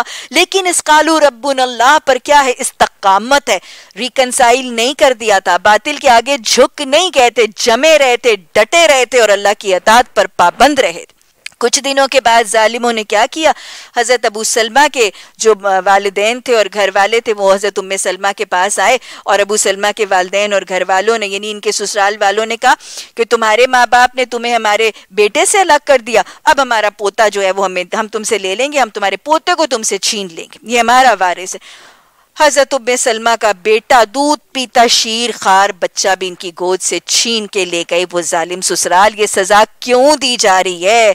ये ये सोशल साइकोलॉजिकल इमोशनल क्राइसिस राह हक पर चलने की वजह से आ रहे। लेकिन सबर है, लेकिन इस्तकामत है, ये सबर के पहाड़ हैं। और हज़रत उम्मे सलमा ने कलमा नहीं छोड़ा था, लेकिन दिल की कैफियत यह कि रोती फिरती थी। रावी कहते हैं कि सारी मक्का की गलियों में रोती फिरती थी। कोई बच्चा अपने बच्चे का हम उम्र दूध पीता नज़र आता था, उस बच्चे को माँ से पकड़ के अपने सीने से लगाती थी और बिलकती रहती थी। ये कैफियत देखकर फिर ससुराल वालों में से कुछ लोगों का दिल नरम हुआ। उन्होंने बच्चा वापस कर दिया। जो ही हज़रत उम्मे सलमा को बच्चा वापस मिला, फ़ौरन हिजरत का इरादा करके मक्का की बस्ती से निकल गई। जो ही निकली इन साबरीन, ऐसे हुआ कि एक एक सहाबी, वो भी मक्का से मदीना हिजरत करके एक अपने ऊँट पर सफ़र करके जा रहे थे। उन्होंने तन तनहा औरत को एक से शेर खार बच्चे के साथ इस सफ़र पर निकलते हुए देखा तो उन्होंने ऊँट पर सवार कर लिया और पकड़ के नकेल मदीना ले आए। सारा घराना वापस मिल गया। इन स्वाबरीन अल्लाह आजमाता ज़रूर है, लेकिन सबर करने वालों को छोड़ता नहीं। इसीलिए अल्लाह फरमा रहा है वह बशर स्वाबरीन सबर करने वालों को खुशखबरी दे दो। क्या खुशखबरी दे दो कि उनके लिए दुनिया में भी अजर है, दुनिया में अल्लाह की मोहब्बत है और दुनिया में अल्लाह की वलायत और आखिरत में वो कदरदान बहुत ज़्यादा अजर देने वाला है। साबिर कौन से होते हैं? बशर स्वाबरीन साबिर कौन से होते हैं? अल्लाजीना, इज़ा असवाबतुम मुसीबतुन कौलू इन्ना व इन्ना इलैहि साबिर वो होते हैं कि जो ही उन्हें कोई तकलीफ़, जिस्मानी है, माली है, रूहानी है, माशी है, सोशल है, किसी भी तरह की तकलीफ़ उनको छू जाती है ना, वो फ़ौरन क्या कहते हैं? इन्ना व इन्ना राजिऊन। गोया ये बात जहन नशीन कर लीजिए कि जब तकलीफ़ आती है तो सबसे पहले सबर नहीं, सबसे पहले ज़िक्र है। सबसे पहले ज़िक्र है। साबिर वो होते हैं कि तकलीफ़ के आने पर शुरू पे सबर नहीं, पहले ज़िक्र करते हैं। कुरान की इस आयत का विरद करते हैं। क्योंकि याद रखिएगा, तकलीफ़ के आने पर जब ज़िक्र होगा तो दिल को सकून और सकीना मिलेगा। अला बेफिक्रुल्लातमइन्नुलकुलू दिल शैतान के गंदे वसवसों से बच जाएगा और अल्लाह के कुर्ब की वजह से उसके लिए सकीना आसान हो जाएगा। जब ये कैफियत ज़िक्र की वजह से दिल पर और हवास पर तारी होगी तो फिर सबर आसान हो जाएगा। बहरहाल इन्ना लिल्ला हमारा तो मामूल ये है कि न जब किसी की वफ़ात का मौका और वफ़ात की खबर मिलती है तो तब हम इन्ना लिल्ला पढ़ते हैं। लेकिन हदीस हमें बताती है कि मोमिन को जब कोई भी तकलीफ़ पहुँचती है, चाहे उसका तस्मा भी टूट जाए तो उसे क्या कहना है? इन्ना लिल्लाहि व इन्ना इलैहि राजिऊन। गोया, हम कोई तकलीफ़, हम गाड़ी पे बैठे हैं, एकदम से टायर बर्स्ट होता है या पंक्चर हो जाता है, हम बैठे हैं, पानी का ग्लास गिरता है, टूट जाता है, लाइट एकदम से बंद हो जाती है, बहुत दफ़ा लोग एकदम से लाइट बंद होती है तो कहते हैं, हो, नहीं, क्या कहना है? इन्ना व इन्ना राजिऊन, हर तकलीफ़ के आने पर। और बहुत बड़ा सा वादा भी है। आप सल्लल्लाहु अलैहि वसल्लम ने फरमाया कि जब मोमिन को तकलीफ़ पहुँचती है या उसकी कोई चीज़ उससे फौत हो जाती है, यानी उससे छुट जाती है, उससे अल्लाह के हुक्म से ले ली जाती है और बाद में ज़िंदगी में कभी उसको उसकी याद सताती है, यानी दुख आता है और वो अपसेट होता है और वो उस वक्त इन्ना लिल्ला कहता है। तो वो उतना ही अजर दिया जाता है जो पहली दफ़ा इन्ना लिल्ला कहने का दिया जाता है। और फिर वो इन्ना लिल्ला के हवाले से हज़रत अबू सलमा और हज़रत उम्म सलमा साबिरों का बहुत प्यारा सा एक और वाक्य भी आता है कि जब ये दोनों मियाँ बीवी मदीना में जमा हो गए तो एक दिन हज़रत अबू सलमा नबी सल्लल्लाहु अलैहि वसल्लम की महफिल, तालीम की महफिल से जब वापस आए तो बहुत ही खुश थे और ऐसे जैसे मसरूर थे। और उन्होंने हज़रत उम्म सलमा रज़ी अल्लाह तह को मुखातिब होकर फरमाया कि आज मैंने नबी सल्लल्लाहु अलैहि वसल्लम को एक बहुत ही खूबसूरत वादा बताते हुए जो है वो मैंने सुना। ये दीन के मददगार अजवाज थे ना, जो सुनते थे, वो सुनाते थे एक दूसरे को। तो उन्होंने कहा कि नबी सल्लल्लाहु अलैहि वसल्लम ने फरमाया कि जब किसी की कोई चीज़ खो जाती है या उससे छिन जाती है और फिर वो क्या कहता है? इन्ना लाही व इन्ना इलैहि और फिर, ये तो कुरान के अल्फाज है ना, और फिर मसनून दुआ क्या थी उसके बाद कहता है अल्लाह अजुर्नी फ़ी मुसीबती वाहफली खैर मिन। कि अल्लाह मुझे इससे बेहतर नेमुल बदल दे दे। तो अल्लाह उससे उससे बेहतर नेमुल बदल दे देता है। ये बहुत बड़ा वादा था। दोनों अजवाज बहुत ही खुश हुए और उन्होंने इस बात को याद कर लिया। हज़रत उम्मे सलमा रज़ी अल्लाह तहा फरमाती हैं कि अभी इस बात को कुछ दिन गुजरे ही थे कि ओखद के गजबे में हज़रत अबू सलमा का कि वो बहुत शदीद ज़ख्मी हुए और ज़ख्मों की ताब ना लाते हुए वो फौत हो गए। कहते हैं, जैसे ही वो फौत हुए, मैंने इन्ना लिल्ला की ये कलमात ज़बान से जब अदा किए तो मुझे नबी मेहरबान सल्लल्लाहु अलैहि वसल्लम की हदीस का वो वादा याद आ गया और कहती हैं कि मैंने साथ ही वो दुआ जो है वो अपनी ज़बान से पढ़ ली। लेकिन कहती हैं, ईमान की हालत हमेशा एक जैसी थोड़ा होती है। कहती उस वक्त मुझे फ़ौरन ही ख्याल आया कि मैंने ये अल्फाज पढ़ तो लिए, लेकिन मुझे कोई अबू सलमा से बेहतर शोहर कैसे मिल सकता है? हाँ जब वादा सादिक अमीन का हो तो क्या ख्याल है? वो वादा कभी पूरा हो सकता है कि वो मुकम्मल ना हो, या वो खुशखबरी पूरी ना हो? हज़रत उम्म सलमा रज़ी अल्लाह तहा की इद्दत मुकम्मल हुई तो आप सल्लल्लाहु अलैहि वसल्लम को वाकई अबू सलमा रज़ी अल्लाह तन से बेहतर खैरुल बशर मोहम्मद सल्लल्लाहु अलैहि वसल्लम की तरफ़ से निकाह का पैगाम आ गया। हज़रत उम्म सलमा, हज़रत उम्म सलमा ने निकाह के पैगाम का इनकार करते हुए तीन वजूहत बताई। एक तो ये बताया कि, या रसूलुल्लाह सल्लल्लाहु अलैहि वसल्लम, में सन रसीदा हूँ, यानी मैं बड़ी उम्र की हूँ। दूसरे, में, मेरे बाल बच्चे हैं, मैं अयालदार हूँ, और मैं नहीं चाहती कि मेरे अयालदार बच्चे जो हैं, वो आपके आराम में खलल डालें। और तीसरी बात यह है कि, मैं मिजाज की कुछ तेज़ हूँ, और मैं नहीं चाहती कि मैं आपके निकाह में रहूँ और अपनी बदअखलाकी की वजह से अपनी नेकियाँ बर्बाद कर बैठूँ। नबी सल्लल्लाहु अलैहि वसल्लम ने फरमाया कि, उम्म सलमा, जहाँ तक तुम्हारे सन रसीदा होने की बात है तो मेरी हमसे नो, यानी हम बराबर उम्र के हैं। अक्सर रवायत में आता है कि उस वक्त दोनों की उम्र जो है ना, वो पचास साल थी। दूसरा हमें, आपने फरमाया कि जहाँ तक तुम्हारे अयालदार, यानी छोटे यतीम बच्चे होने की बात है तो मैं यही तो चाहता हूँ कि मैं तुम्हारे साथ निकाह करूँ और मैं तुम्हारे यतीम बच्चों की कफालत करूँ और अल्लाह सुबहाना तला से बेहतरीन अजर पाऊँ। और जहाँ तक मिजाज तुम्हारे, तुम्हारी बात तुम्हारे मिजाज की है, मैं अल्लाह से दुआ करूँ करूँगा और इन तुम्हारा गुस्सा काफूर हो जाएगा यानी जाता रहेगा। और फिर ये निकाह हो गया और हज़रत उम्म सलमा को अल्लाह सुबहाना ताला ने इस दुआ के वादे के मुताबिक अपने पिछले शोहर से बेहतरीन शोहर रहमतुल्लामीन के अकद निकाह में मुंतकिल कर दिया। अल्लाह ने फरमाया, यही वो लोग हैं जो अपने रब की तरफ़ से रहमतों पर हैं, अनायतों पर हैं, उनके रहमत की, उसकी रहमत उन पर साया करेगी और ऐसे ही लोग रास्त रोएँ। कौन? सब्र करने वाले। यकीन सफ़ा और मरवा अल्लाह की निशानियों में से है। लिहाजा जो शख्स बैतुल्ला का हज या उम्र करे, उसके लिए कोई गुनाह नहीं कि वो इन दोनों पहाड़ियों के दरमियान सही कर ले, जो बरजा और रगबत कोई भलाई का काम करेगा। अल्लाह को उसका इल्म है और वो उसकी कदरदानी करने वाला है। सबर की रुदात और सबर की का किस्सा आ रहा है, उसके बिल्कुल उस किस्से के दरमियान सफ़ा और मरवा का तस्करा क्यों? और हज में उसकी सही की रुदात क्यों? असल में सफ़ा और मरवा का तस्करा हाजरा, साबरा, शाकरा की रुदात है। और याद रखिएगा, जहाँ सबर और शुक्र की बात हो, वहाँ रुदाद मुकम्मल नहीं होती जब तक आले इब्राहिम साबरों और शाकरों की रुदाद आ जाए। हज़रत हाजरा हज़रत हाजरा सलाम कितनी साबरा और कितनी शाकरा आप देख लीजिए कि कितनी अल्लाह और अल्लाह के रसूल की बंदगी और अतात नज़र आती है कि जब अल्लाह ने हुक्म दिया कि इस छोटे से बच्चे शीरखार बच्चे और इस बीवी को उस वादी वादी गैर जी ज़रा में, हज़रत हाजरा को उस गैर जी ज़रा वादी में छोड़ आओ तो कितना मुश्किल सफ़र। स्याह संगलाख पथरीली चट्टानों वाला, रेगिस्तानों वाला, सहराओं वाला, गर्मी का सफ़र और एक शीर खार बच्चा गोद में। लेकिन ना शिकवा, ना शिकायत, ना रोना, ना धोना, अल्लाह की, अल्लाह के रसूल की और शोहर की अतात, ये है सबर और शुक्र। और फिर जब हज़रत इब्राहिम सलाम ने उस मक्का की बस्ती में, जहाँ दूर दूर तक कोई चिरिंद परिंद हैवानात नबातात कोई घास का तिनका कोई पानी की बूंद, कोई आदम जात का साया और नामो निशान भी नहीं था। एक थैला खजूर का और एक मशकीजा देकर छोड़ दिया था। तो क्या कहती हैं? इब्राहिम, हमें यहाँ क्यों छोड़ के जा रहे हो? इब्राहिम, हमें यहाँ क्यों छोड़ के जा रहे हो? इब्राहिम, हमें यहाँ क्यों छोड़ के जा रहे हो?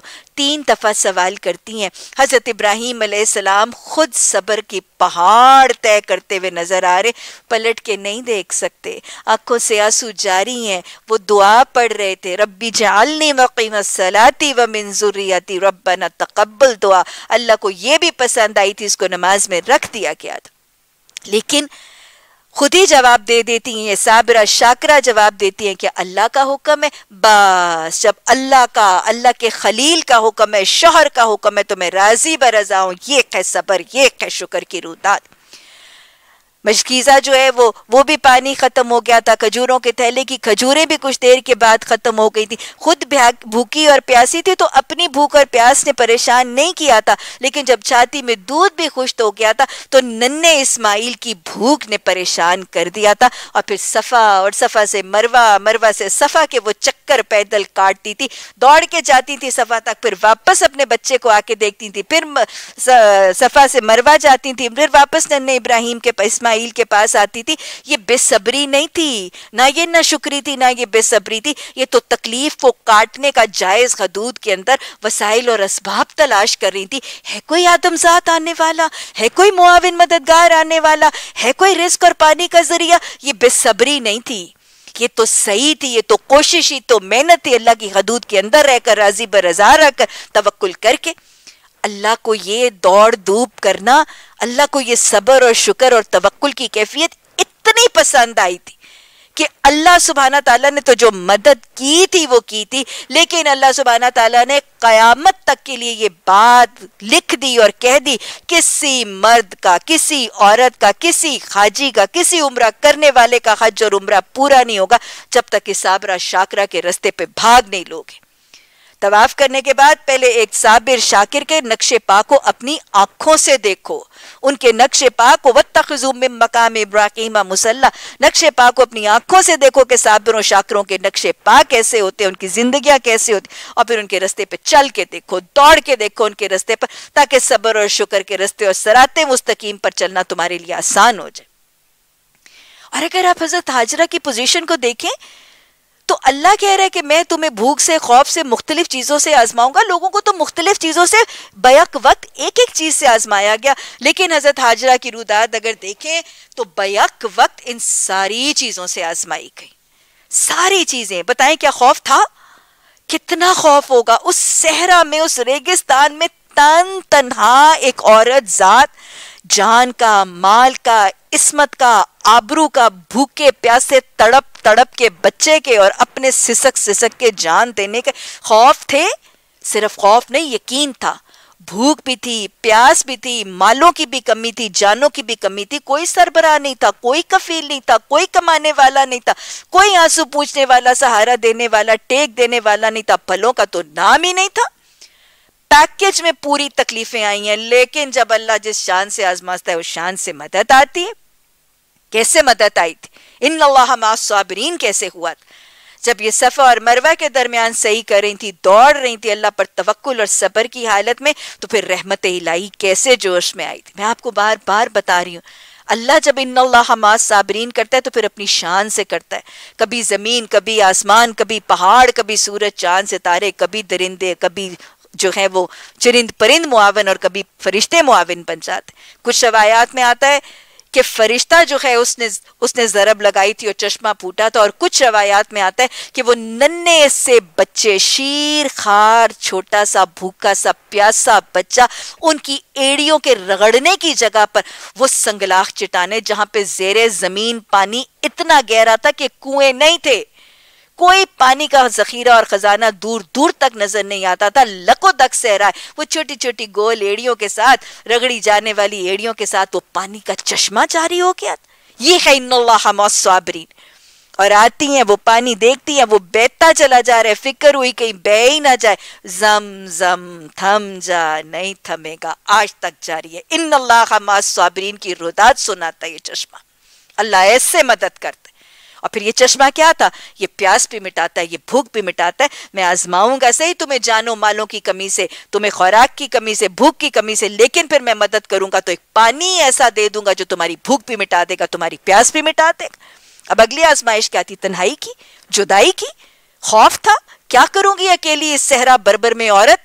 कैसे कमाऊँगी, कैसे खाऊँगी, बस्ती कैसे आबाद होगी? इसी पानी के खजाने के ऊपर सहरा की रूटीन के मुताबिक परिंदे उड़ने लगे थे। और इन उड़ते हुए परिंदों को देख के वो कबीला जुरहम का एक काफिला वहाँ से गुजर रहा था। पानी का जखीरा समझ के वहाँ पे पलटे और पलटते वक्त वो वहीं पर आ गए जहाँ पे आबे जमजम था। और यहाँ पर बस्ती आबाद हो गई। अल्लाह ने तन्हाई को, अल्लाह ने जुदाई को, अल्लाह ने वो जो गैर आबाद इलाका सहरा था, उसको आबाद कर दिया। खौफ भी गया, भूख भी गई, सब कुछ गया। अब माल कमाने वाला कोई नहीं, कफालत करने वाला ना बाप है, ना भाई है, ना शोहर है, कोई भी नहीं है। छोटा सा शीर खार बच्चा है, कैसे कमाऊँगी? कैसे खाऊँगी?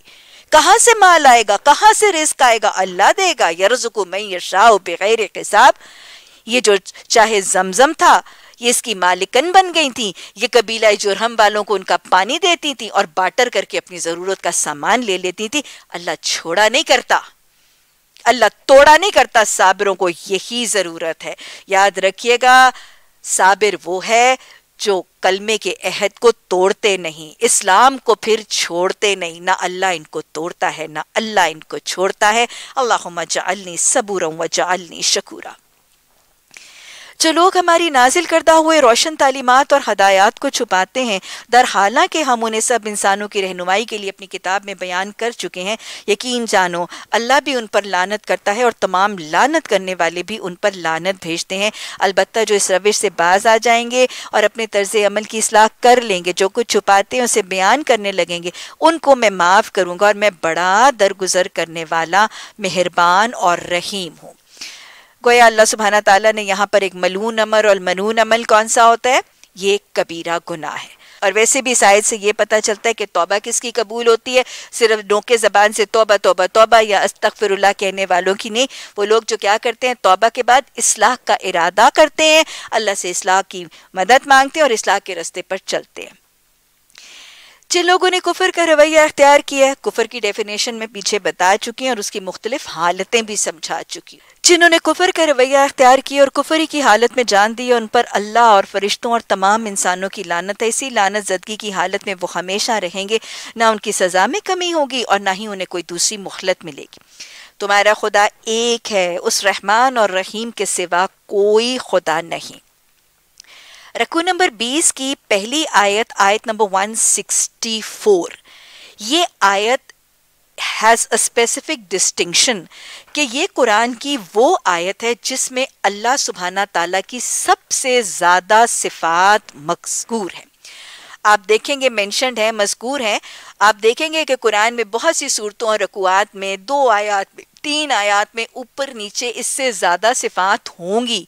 लेकिन एक ही आयत में इतनी सिफात यकजा और किसी आयत में मौजूद नहीं है। तो अल्लाह की तोहद का तस्करा करने के बाद अल्लाह की ज़ात, सिफात की आयत ज़ात और सिफात की जो पहचान है, वो एक ही आयत में करवाई जा रही है।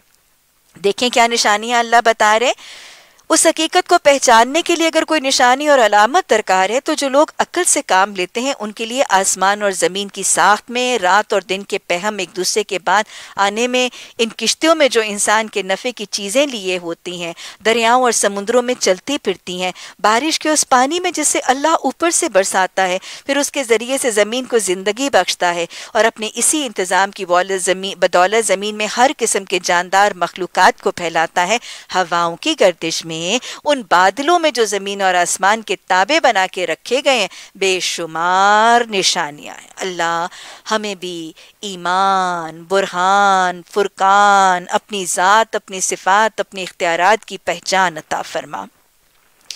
मगर वहदत खुदाबंदी पर दलाइल करने वाले इन खुले खुले असरात के होते हुए भी कुछ लोग ऐसे हैं जो अल्लाह के सिवा दूसरों को उसका हमसर और मद्द मुकाबिल बना लेते हैं और उनके लिए ऐसे गर्विदाएँ जैसे अल्लाह के साथ गर्विदगी होना चाहिए।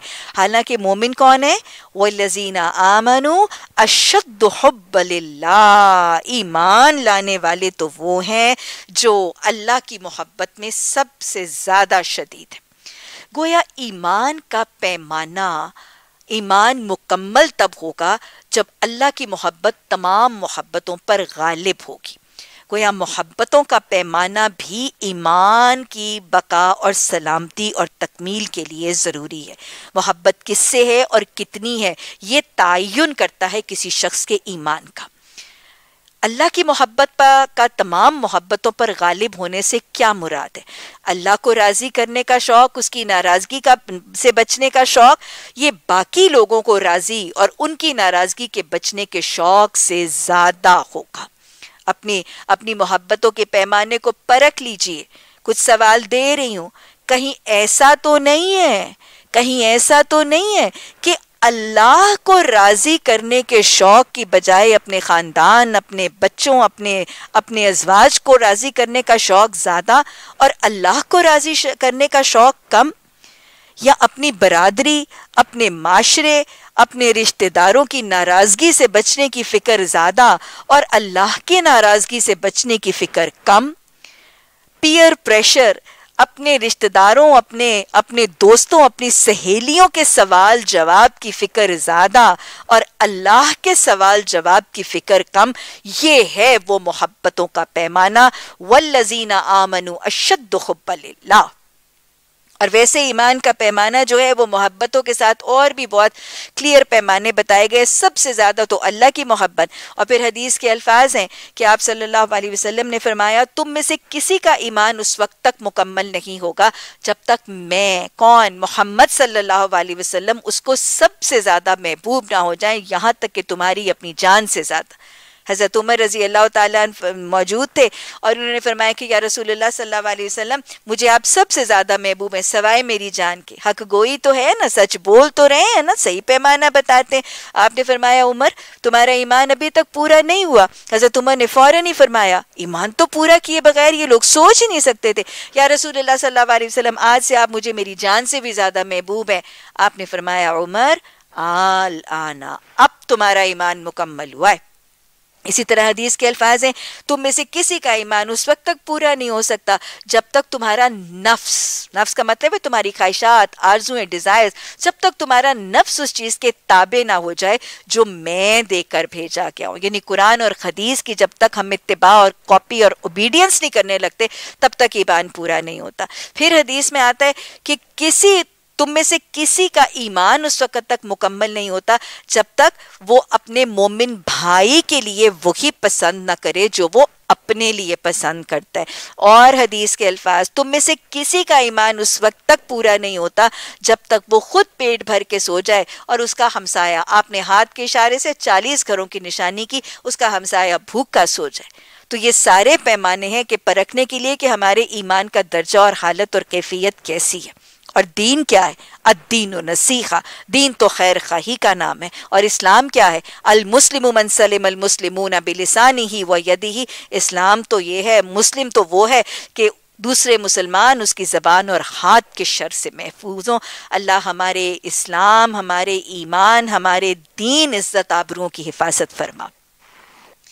हालाँकि ईमान रखने वाले सबसे बढ़कर अल्लाह को महबूब रखते हैं। काश जो कुछ अजाब को सामने देखकर उन्हें सूझने वाला है ना, आज ही इन जालिमों को सूझ जाए कि सारी की सारी ताकतें और इख्तियार अल्लाह के कब्जे में हैं और ये कि अल्लाह सजा देने में भी सख्त है और जब वो सजा देगा, उस वक्त कैफियत ये होगी कि वही पेशवा और रहनुमा जिनकी दुनिया में पैरवी की गई थी, अपने पैरों से, अपने फॉलोअर से बेताल्लुकी का इजहार करेंगे, मगर सज़ा पाकर रहेंगे और उनके सारे इसबाब और वसाइल का सिलसिला कट जाएगा। और वो लोग जो दुनिया में उनकी पैरवी करते थे, कहेंगे, काश हमको फिर एक मौका दिया जाता। तो जिस तरह आज हमसे बेजारी का इजहार कर रहे हैं, हम उनसे बेजार होकर दिखा देते। यूँ अल्लाह उन लोगों के वो अमाल जो वो दुनिया में कर रहे थे, उनके सामने इस तरह लाएगा कि ये हसरत हसरतों और पेशेमानियों के साथ हाथ मलते रहेंगे मगर आग से निकलने कोई राह नहीं पाएँगे। अल्लाह अजिर ना मिनन्नार आयत समझा रही है कि देख लो, तुम किसकी पैरवी करते हो, किसको कॉपी और आइडलाइज करके फॉलो करते हो? कहीं ऐसों को तो नहीं जो जहन्नुम के गड़े में अपने पीछे तुम्हें ले जाएँगे? और फिर ये भी लमाए फ़िक्र है कि सोच लो, तुम्हें जो कॉपी और फॉलो करते हैं वो तुम्हारे लिए कहीं गुनाह जारिया ही तो नहीं बनने वाले। या योहन्नास ए लोगो जो ज़मीन में हो, क्या खाओ? कुलू अल्लाह ने पूरे की पूरी ज़मीन को तुम्हारे लिए दस्तरखान बनाया ज़मीन के सीने को तो खाओ। खाने पीने से तो अल्लाह मना नहीं करता, लेकिन कैसा खाना? मिम्मा फिलर्स जो ज़मीन में खाओ। लेकिन दो शर्तें याद रखना, हलालन खाना और तोयबन खाना। हलाल से मुराद, एक तो वो सारी की सारी फहरिस्त है जो अल्लाह ने कुरान और हदीस के ज़रिए में बताई है। शराब की, खंजीर की ज़बी की, वो सारी शराइ खून की, वो सारी शराइ जो इंशाल्लाह हम वजाहत से पढ़ेंगे, जो अल्लाह ने चीज़ें हलाल की हैं, वो खाओ। और हलाल से मुराद ये कि सिर्फ़ इस फहरिस्त के अंदर नहीं, वो वो तमाम चीज़ें जो तुम खरीदते हो जिस माल से, वो माल भी हराम होना चाहिए। रिस्के हलाल खाओ रिस्के हलाल की कमाई से खाओ। आज हमारे माशरे में रिस्क हराम इतना आम होता चला जा रहा है कि रिस्क हलाल कमाने वाले आटे में नमक के बराबर है। कुछ अहादीस हैं जो जहन नशीन करनी और माशरे में मुतारफ करवानी बहुत ज़रूरी है हराम कमाई के दौर में। आप सल्लल्लाहु अलैहि वसल्लम ने फरमाया, अल्लाह पाक है और पाक ही चीज़ कबूल करता है। हराम माल से दिया हुआ सदका कबूल नहीं होता। रिश्वतों, बेईमानियों, धोखों से बनाए जाने वाली शबीलें लगाई जाती हैं, कुएँ खोदे जाते हैं, पानी के जखीरे बनाए जाते हैं, मस्जिदों में किरदार अदा किया जाता है। हराम माल से दिया हुआ सदका हदीस बता रही है कि कबूल नहीं होगा। इसी तरह हज़रत साद बिन नबी वकास रज़ी अल्लाह ने नबी सल्लल्लाहु अलैहि वसल्लम से सवाल किया, मुझे कोई नुस्खा बता दीजिए कि मैं मकबूल दुआ हो जाऊँ? मेरी दुआएँ कबूल होने लगी। आपने फरमाया, अपना रिस्क हलाल कर लो। वो आता है मुस्लिम में कि एक शख्स है, वो मुसाफिर है, वो सहरा में सफ़र करके आता है, बाल बिखरे हैं, सफ़र, लिबास उसका प्रा गंदा यानी मजबूर है, मजलूम है, मुसाफिर है, सारे फैक्टर्स हैं दुआ की कबूलियत के। आपने फरमाया, वो हाथ उठा के आसमान की तरफ़ देखता है और कहता है, या अल्लाह या अल्लाह। आपने फरमाया, उसकी दुआ कैसे कबूल हो? उसका खाना हराम, उसका पीना हराम, उसका लिबास हराम। ये रिस्क हराम है। सदके की कबूलियत में रुकावट, दुआओं की कबूलियत में रुकावट। आगे चलिए। आपने फरमाया, जो जानते, बूझते, एक रुकमा हराम रिस्क का खाता है, उसकी चालीस दिन की नमाज़ कबूल नहीं होती। ना दुआ कबूल, ना नमाज़ कबूल, ना सदका कबूल। अंजाम क्या होगा? हदीस ने बता दिया, जो गोश्त हराम माल पर पला है, उस पर जन्नत हराम है। जो गोश्त हराम माल पर पला है, वो जहन्नुम ही के लायक है। अल्लाहमकफ़नी अन हलालिका अन हरामिक व अग्नि बेफदलिका अमन सिवाक अल्लाह हमें हमारे घर के मर्दों को रिस्क हलाल की पहचान अता फरमा लुकमाए हराम की कराहत अता फरमा अल्लाह इज़्ज़त से आबरू से सहूलत से रिस्क हलाल अता फरमा और अल्लाह जितना दे उस पर हमें तवक्ल और कनात अता फरमा अल्लाह ने फरमाया, और तोयब खाओ। तोयब एक तो हलाल है, एक रिस्क हलाल है और दूसरा गंदा गला सड़ा नहीं है। और तुम क्या करो, तुम शैतान के रस्तों पे ना चलो, वो तुम्हारा खुला दुश्मन है, वो तुम्हें बदी और फहश का हुक्म देते और ये सिखाते कि तुम अल्लाह के नाम पे वो बातें कहो जिनके बारे में तुम्हें इल्म ही नहीं है कि वो अल्लाह ने फरमाई है। उनसे जब कहा जाता है कि अल्लाह ने जो अहकाम नाजिल किए, उनकी पैरवी करो तो जवाब देते हैं कि हम तो उसी तरीके की पैरवी करेंगे जिस पर हमने अपने बाप दादा को पाया। अच्छा अगर उनके बाप दादा ने अक्ल से कुछ भी काम ना लिया हो और रास भी ना पाई हो तो क्या फिर भी उन्हीं की पैरवी किए चले जाएँगे? ये लोग जिन्होंने खुदा के बताए हुए तरीके पर चलने से इनकार कर दिया उनकी हालत बिल्कुल ऐसी है, जैसे चरवाहा। ये वो जो कहते हैं ना भेड़ चाल वही है। जैसे चरवाहा, जानवरों को पुकारता है, वो हाँ पुकार की, सदा के सिवा कुछ नहीं सुनते। ये बहरे हैं, गूँगे हैं अंधे हैं, इसलिए अब उन्हें कोई बात ही समझ में नहीं आती। ए लोगो, जो ईमान लाए हो, अगर तुम हकीकत में अल्लाह की बंदगी करने वाले हो तो जो पाक चीज़ें हमने तुम्हें दी है ना, उन्हें बतकल्लुफ खाओ और खा के क्या करो? वशकुरुल्ला खा के शुक्र किया करो न शुक्री ना किया करो। खाना खाने के बाद या खाना दस्तरखान पर आ जाने के बाद नबी सल्लल्लाहु अलैहि वसल्लम का अंदाज दोहरा लीजिए। आपको कोई खाना पसंद नहीं होता था, आप खामोश रहते थे, नहीं खाते थे, बगैर खाए उठ जाते थे, लेकिन खाने के अंदर तनकीद और ऐब जोई नहीं करते थे। खाओ और शुक्र करो। अल्लाह की तरफ़ से अगर कोई पाबंदी तुम पर है तो क्या करो? मुर्दार ना खाओ, खून और खंजीर के गोश्त से परहेज करो और कोई चीज़ ऐसी ना खाओ जिस पर अल्लाह के सिवाय किसी और का नाम लिया गया हो। हाँ जो शख्स मजबूरी की हालत में हो और इनमें से कोई चीज़ खा ले बगैर इसके कि वो कानून शिकनी का इरादा रखता हो या ज़रूरत की हद से ज़्यादा तजावज़ करे तो उस पर कुछ गुनाह नहीं, अल्लाह बख्शने वाला, रहम करने वाला। इन आयत की वजाहत आगे जाके करेंगे। हक ये है कि जो लोग इन अहकाम को छुपाते हैं, जो अल्लाह ने किताब में नाजिल किए हैं और थोड़े से दुनियावी फ़ायदे पर उन्हें भेंट चढ़ाते हैं, वो दरअसल अपने पेट आग से भरते हैं। क़यामत के रोज़ अल्लाह हरगिज़ उनसे बात नहीं करेगा। किसी कुरान की आयत में या किसी हदीस में जब ये अल्फाज आ जाएँ, वला युकल्लिमुहुमुल्लाह वला युज़क्कीहिम वला हम अजाबुन अलीम तो वो गुनाह कौन सा गुनाह होता है? वो गुनाह कबीरा गुनाह होता है। ये वो लोग हैं जिन्होंने हदायत के बदले जलालत खरीदी है, मगफरत के बदले अजाब मोल लिया कैसा अजीब है इनका हौसला। जहन्नुम का अजाब बर्दाश्त करने के लिए तैयार है। ये सब कुछ इस वजह से है कि अल्लाह ने तो ठीक ठीक हक के मुताबिक किताब नाजिल की है, मगर जिन लोगों ने किताब में इख्तलाफ निकाले, वो अपने झगड़ों में हक से बहुत दूर निकल गए। सूरह बकरा की आयत नंबर 177 लईसल बिरवा अंतुवल्लु वजूहकुम किबलल मशरिकी वल मगरिब इस आयत को आयतल बिर कहा जाता है। बिर का मतलब है नेकी, और बिर सिर्फ़ नेकी को नहीं कहते, बिर वसी एक्सटेंसिव वाइड स्प्रेड पैमाने पर की जाने वाली नेकी को कहते हैं। ये आयत बुनियादी तौर पर कॉन्सेप्ट और डेफिनेशन ऑफ़ नेकी बता रही है। वैसे तो अगर हम देखें तो पूरे का पूरा कुरान ही नेकी का तस्वुर सिखाता है। नेकी और गुनाह, हलाल और खराम रब पसंद, रब नापसंद का तस्वुर सिखाता है। लेकिन ये आयत specifically is what it is a highlighted definition of नेकी। अल्लाह अल्लाह के सभी बंदों के हाँ हर माशरे में नेकी का कोई ना कोई तस्वुर ज़रूर होता है।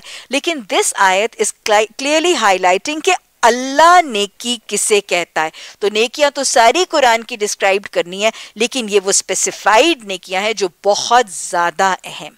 अल्लाह फरमा रहे कि नेकी ये नहीं कि तुम अपने चेहरे मगरब या मशरक की तरफ़ कर लो।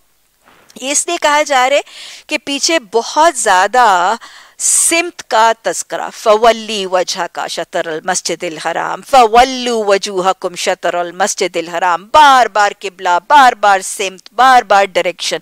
तो इम्कान था कि एक ही सिमत, एक ही डायरेक्शन की तरफ़ फिक्स और फोकस हो जाए। मोमिन एक ही डायरेक्शन में फिक्स और फोकस हो जाए। और ये याद रखिएगा कि मोमिन अपनी ज़िंदगी में यूनी डायरेक्शनल नहीं होता। वो मुस्लिम हनीफ ज़रूर होता है। वो अल्लाह की ज़ात पर अपना महवर और मरकज बना के तोहहीद पर फोकस ज़रूर करता है।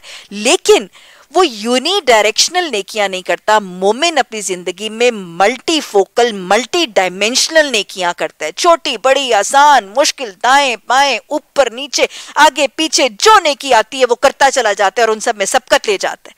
तो ये तस्वुर समझाना था कि अपनी ज़िंदगी में, बस औकात आप देखते हैं कि कुछ लोग अपनी ज़िंदगी में सिर्फ़ खिदमत खल पकड़ लेते हैं। ना नमाज़ है, ना रोजा है, ना ज़िक्र है, ना कुरान है, कुछ भी नहीं है, बस खिदमत खल कर रहे और कुछ लोग ऑन द कॉन्ट्री वो लोग हैं जो सिर्फ़ तस्बीहात और सिर्फ़ ज़िक्र और तहजद पकड़ लेते हैं या कुरान की तलावत पकड़ लेते हैं और बाकी काम ना हकूक लिबाद है, ना खिदमत खल्क है, ना दावत है, ना तबलीग है, बाकी सब कुछ छोड़ देते हैं। तो मोमिन अपनी ज़िंदगी में यूनिफोकल नहीं होता मल्टी फोकल मल्टी डायरेक्शनल हर सिमत में नेकी करता है, ये तस्वुर आयतुल बिर समझा रही है। और अल्लाह फिर आगे से नेकी का तस्वुर बता रहे हैं, नेकी में पहली नेकी है, मन आमाना। नेकियों में पहली नेकी ईमान है। और वो ईमान ईमान मुफसल है, वो ईमान लाता है अल्लाह पर। अल्लाह पर ईमान का मतलब क्या है? कि अल्लाह की ज़ात, उसके सिफात, उसके इख्तियार उसकी वहदानियत को तस्लीम करता है। हाँ ये भी ईमान है। लेकिन अल्लाह को इन तमाम चीज़ों के साथ अल्लाह की भी मानता है। फिर किस पर ईमान लाता है? वल यौम आखिरी। हाँ आखरत के दिन सूर के फूके जाने, यौम तबद्दुल ज़मीन के बदले जाने। पहाड़ों के उड़ाए जाने, अल्लाह के हजूर हाजिर किए जाने, ये आखरत पर ईमान है, इसमें कोई शक नहीं। लेकिन आखरत पर ईमान ये कि आखरत को मानने के बाद आखरत की तैयारी भी करता है। मलाइका फरिश्तों को पर ईमान ये है कि हम मानते हैं कि वो अल्लाह की नूरी मखलूक है। या फलूना मायो मरून वो वो जो अल्लाह कहता है वो करते हैं, वो सजदे करते हैं तस्बी करते हैं, कायनात के निज़ाम में अल्लाह के हुक्म के मुताबिक काम करते हैं। ये फरिश्तों पर ईमान है, लेकिन साथ के साथ करामन कातबीन को मुनकर नकी नकीर को अजाब कब्र के फरिश्तों को साइक और शहीद को और फिर उसके बाद वो जन्नत और जहन्नम के दारोगा फरिश्तों को याद रखता है। वल किताबी, किताबों को मानते हैं। हाँ मानते हैं कि आसमानी इलामी किताबें वही के ज़रिए नाजिल हुई थी, लेकिन सिर्फ़ ये नहीं, किताबों को मानने के बाद किताब की भी मानते हैं। ये ईमान बिलकुतुब नबियों को मानते हैं कि अल्लाह सुबहाना ताला ने अपने कुछ बंदों को चुना रसूल बनाया, नबी बनाया वकी की। हाँ लेकिन साथ नबी की भी मानती हैं, सल्लल्लाहु अलैहि वसल्लम, ये पहली नेकी है ईमान मुफस्सिल। और नेकी में ईमान के बाद अगली नेकी क्या है? वह आतल माला अला हुब्बी ही अल्लाह की मोहब्बत में माल देते सदका और खैरात। रैली मैंने जब तक ये आयत नहीं पढ़ी थी, मुझे नहीं पता था कि ईमान के बाद पहली नेकी सदका और खैरात इतना इंपॉर्टेंट है। और फिर किसको देते हैं? जविल कुर्बा कराबतदारों और रहम के रिश्तों की अहमियत भी पता चल रही है कि नेकियों के पैमाने में, ईमान के बाद, ईमान मुफसल के बाद अल्लाह के नज़दीक well describe highlighted definition of नेकी में कराबत दारों को देना, ये इतनी बड़ी नेकी है। और फिर सदका खैरात, यतीमों को, मस्किनों को, मुसाफिरों को, साइलों को और गर्दनों को आज़ाद करने में और फिर उसके बाद अकामत, सलाता, नमाज़ पढ़ते नहीं है, नमाज़ कायम करते हैं और जक़ात अदा करते हैं। और फिर अगली नेकी क्या है? ईमान के बाद, सदका खैरात के बाद, फिर उसके बाद जक़ात और नमाज़ के बाद, इन चार नेकियों के बाद अगली नेकी। पहली दफ़ा जब मैंने पढ़ी थी तो आई वॉज़ शॉक्ड मुझे नहीं पता था कि ये नेकियों की डेफिनेशन में इतनी इंपॉर्टेंट है अल्लाह के यहाँ। वल मुफून अभी आहदे मेजाहदू। कि जब वादा करते हैं तो वादे को पूरा करते हैं। इफाए अहद और वादों को निभाना इतना अहम है। रोज़े का ज़िक्र नहीं आया, हज का ज़िक्र नहीं आया तहजद का ज़िक्र नहीं आया।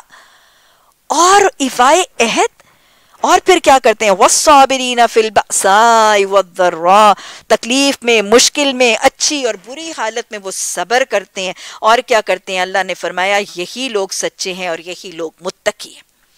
कोया सच्चे ईमान वाले, तकवा वाले, नेकी के पैमाने पर जमने वाले वो हैं जो इन सिफात से हामिल हैं। अल्लाह हमें सबको इनसे मुतसिफ फरमा दे। ए लोगों, जो ईमान लाए हो, आयत नंबर 178 इसमें कसास का हुक्म है ए लोगों, जो ईमान लाए हो, तुम्हारे लिए कत्ल के मुकदमे फिल कत्ला, तुम्हारे लिए कत्ल के मुकदमों में किसास लिख दिया गया है। आगे चलने से पहले ये वजाहत कर दूँ कि कत्ल दो किस्म के होते हैं, एक कत्ल अमद, जो दीदा दानिस्ता नोइंगली प्लान करके किया जाता है, यहाँ पर जो अहकाम दिए जा रहे हैं, वो कत्ल अमद के और दूसरा कत्ल जो गैर इरादी तौर पर बगैर जाने बूझे जैसे हज़रत मूसा सलाम ने घूसा मारा, अब कत्ल करने का इरादा नहीं था, लेकिन वो किप्ती बावरची जो है वो हलाक हो गया। ये कत्ल खता है। तो यहाँ पर जो अहकाम हैं, वो कत्ल अमद के हैं। आगे जाकर हम कत्ल खता के अहकाम बताएँगे। कत्ल अमद की सजा यहाँ पर किसास की हद बताई जा रही। हद किसे कहते हैं? हद वो सजा जो अल्लाह ने कुरान में खुद तजवीज़ कर दी, जो बता दी इस्लामी रियासत में नाफिज करने के लिए, उस सज़ा को हद कहते हैं। इस्लाम में कुरान की बताई जाने वाली हदूद कसास, यानी कत्ल के बदले कत्ल है। शादीशुदा जानी को रिजम, संसार स्टोनिंग टू डेथ गैर शुदा शादी गैर शादीशुदा जानी के लिए सौ कोड़े लगाना। अगर किसी ने किसी पर झूठा इल्ज़ाम जिना का लगाया तो उसके लिए हद कज़फ़ और फिर उसके बाद चोर के लिए सरका की हद। ये खदूद है जो अल्लाह ने कुरान में अपने कवानीन की शक्ल में खुद तजवीज़ कर दी है। हद के अलावा दूसरी चीज़ ताज़ीर है। ताज़ीर उस सज़ा को कहते हैं जो अल्लाह ने कुरान में या हदीस के ज़रिए भी नहीं बताई गई। ये जो वक्त का काजी है या हाकम वक्त है, ये उसके कोर्ट की डिस्क्रिप्शन पर छोड़ दिया गया है। उसको ताज़ीर कहते हैं। जैसे हम सुनते हैं ना ताज़ीर आते पाकिस्तान। तो कत्ल अमद की जो पहली सजा तजवीज की जा रही है, वो किसास, यानी खून के बदले खून और जान के बदले जान। अल्लाह बता रहे अलहुर्रु बिलहुर्रि वल अब्दु बिल अब्दी वल उनसा बिल उनसा आज़ाद के बदले आज़ाद, गुलाम के बदले गुलाम और औरत के बदले औरत। ये क्या है? असल में उस जमाने में जुल्म और ज्यादती और नाइंसाफी जो है, वो बहुत ज़्यादा थी और अदल का तो दौर, दौरा ही नहीं था। होता क्या था कि दो कबीलों के दरमियान अगर कत्ल का, कातिल और मकतूल का मामला होता था तो नाइंसाफ़ी में जो कमज़ोर था, उसको उसको कत्ल के बदले में धर दिया जाता था। मसलन एक कबीला ए और एक कबीला बी। अगर एक कबीले के सरदार ने किसी दूसरे कबीले के गुलाम को कत्ल किया होता था तो ये कातिल कबीले के लोग कहते थे कि कत्ल तो हमारे सरदार ने किया, लेकिन हुआ तो तुम्हारा गुलाम है ना कत्ल तो हम कसास में गुलाम दे देते हैं तुम्हें। और यहाँ वाइस वर्षा अगर इसका ऑपोजिट मामला होता था कि एक कोई गुलाम जो है वो किसी दूसरे कबीले के सरदार को कत्ल करता था तो ये कहते थे कि कत्ल तो तुम्हारे गुलाम ने किया है, लेकिन कत्ल तो हमारा सरदार हुआ है ना। हम किसास में ये गुलाम नहीं लेंगे, हम किसास में तुम्हारा सरदार लेंगे क्योंकि हमारा सरदार मारा गया तो अल्लाह ने उसका जवाब दिया, गुलाम कत्ल करेगा तो गुलाम ही धरा जाएगा, मर्द कत्ल करेगा तो मर्द ही धरा जाएगा, आज़ाद कत्ल करेगा तो आज़ादी उसके बदले, यानी कातिल ही को सजा दी जाएगी। उसका किसी और को नेमुल बदल नाइंसाफी और अदल की कमी की शक्ल में नहीं बनाया जाएगा। हाँ अगर किसी के कातिल के साथ उसका भाई कुछ नरमी करने के लिए तैयार हो ये भाई किसको कहा जा रहा है शरीयत में? हाँ मकतूल के वारिसों को इतनी मोहब्बत और अखुवत का तस्वर तो मारूफ तरीके के साथ कुछ खून बहा का तस्वीर हो जाना चाहिए और कातिल को लाजिम है कि रास्ते के साथ खून बहा अदा कर दे। ये तुम्हारे रब की तरफ़ से तखफीफ और कमी है जो इस पर भी ज्यादती करेगा, उसके लिए दर्दनाक सजा। गोया यहाँ पर देखें तो यहाँ पर एक और तस्वुर कत्ल की सज़ा के लिए, कत्ल अमद की सज़ा के लिए बताया जा रहा है। पिछली शरीयतों के अहकाम बहुत सख्त थे। उनकी शरीयत में सिर्फ़ और सिर्फ़ ऑप्शन खून के बदले खून, यानी कत्ल के बदले कत्ल और किसास ही की ऑप्शन मौजूद थी। लेकिन आपने फरमाया ना, मुझे आसान और सहल दीन देकर भेजा गया है और ला इकराह दीन दीन मोहम्मदी सल्लल्लाहु अलैहि वसल्लम में कोई जबर नहीं है। तो इस्लाम में कुरान की तालीमात में कत्ल ख़ता के लिए एक ऑप्शन तो किसास है और दूसरी ऑप्शन खून, बहा ब्लड मनी या दियत है। ये दियत का तस्वुर इस्लाम में क्यों दिया गया? क्योंकि आप देखें कि बसा अवकात आपस में दरगुजर की ख्वाहिश भी पैदा हो जाती है। जो कातिल के वारिस हैं, उनका बसा औकात दिल नरम हो जाता है और उनके दिल में ये ख्वाहिश आ जाती है कि अगर हमारा एक फ़र्द चला गया और हमारे घर में ये कोहराम मचा है तो हम किसी और घर में तो ये कोहराम ना मचाए। उनका दिल नरम हो जाता है और वो माफ़ कर देते हैं और शायद इसलिए भी माफ़ करते हैं कि माफ़ करोता है कि अल्लाह तुम्हारे गुनाहों को माफ़ करे। और दूसरी बात यह है कि बसा औकात कातिल और मकतूल एक ही घराने के अफराद होते हैं। क्या ख्याल है, ये पीछे हुआ नहीं? अगर हम पढ़ेंगे तो हज़रत आदम सलाम के बेटे, हज़रत याकूब सलाम के बेटे, कातिल और मकतूल एक ही घराने के अफराद होते हैं तो उस हालत में भी ये मामला कर दिया गया। और फिर एक और ऑप्शन की वजह से ये खून बहा का तस्वुर जो है वो सिखाया गया। आप देखें कि अगर जो मकतूल था, वो अपने घर वालों का फ़िक्र माश करने वाला रोटी रोजी कमाने वाला ब्रेड अर्नर था।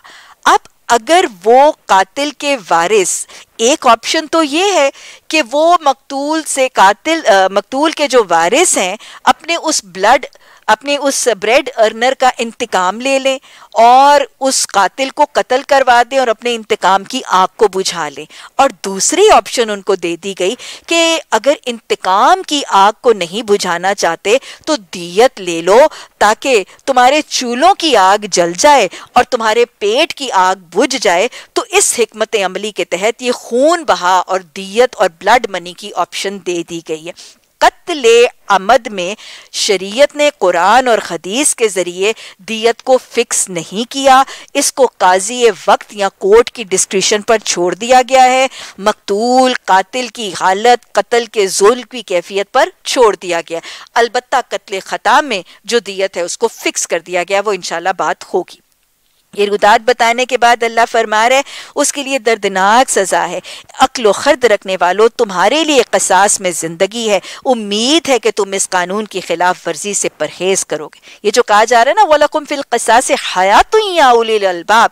असल में हमारी शरीयत में जो कसास का तरीका है कि कत्ल के बदले कत्ल, ये बात जहर नशीन रखिएगा कि इस्लाम की सवाएँ, सज़ाएँ एक तो फौरी होती हैं दूसरे बहुत इंटेंस और सवेयर होती हैं और तीसरे पब्लिक प्रोसिक्यूशंस होती हैं। और इन तीनों चीज़ों की वजह यह होती है कि ये एक निशान इबरत बन जाए। सोसाइटी को पब्लिक प्रोसिक्यूशन के ज़रिए जब इतना इतना इबरतनाक मुशाहिदा करवाया जाता है तो वो वो गुना माशे में से अप्रूट हो जाने का ज़रिया बनती है।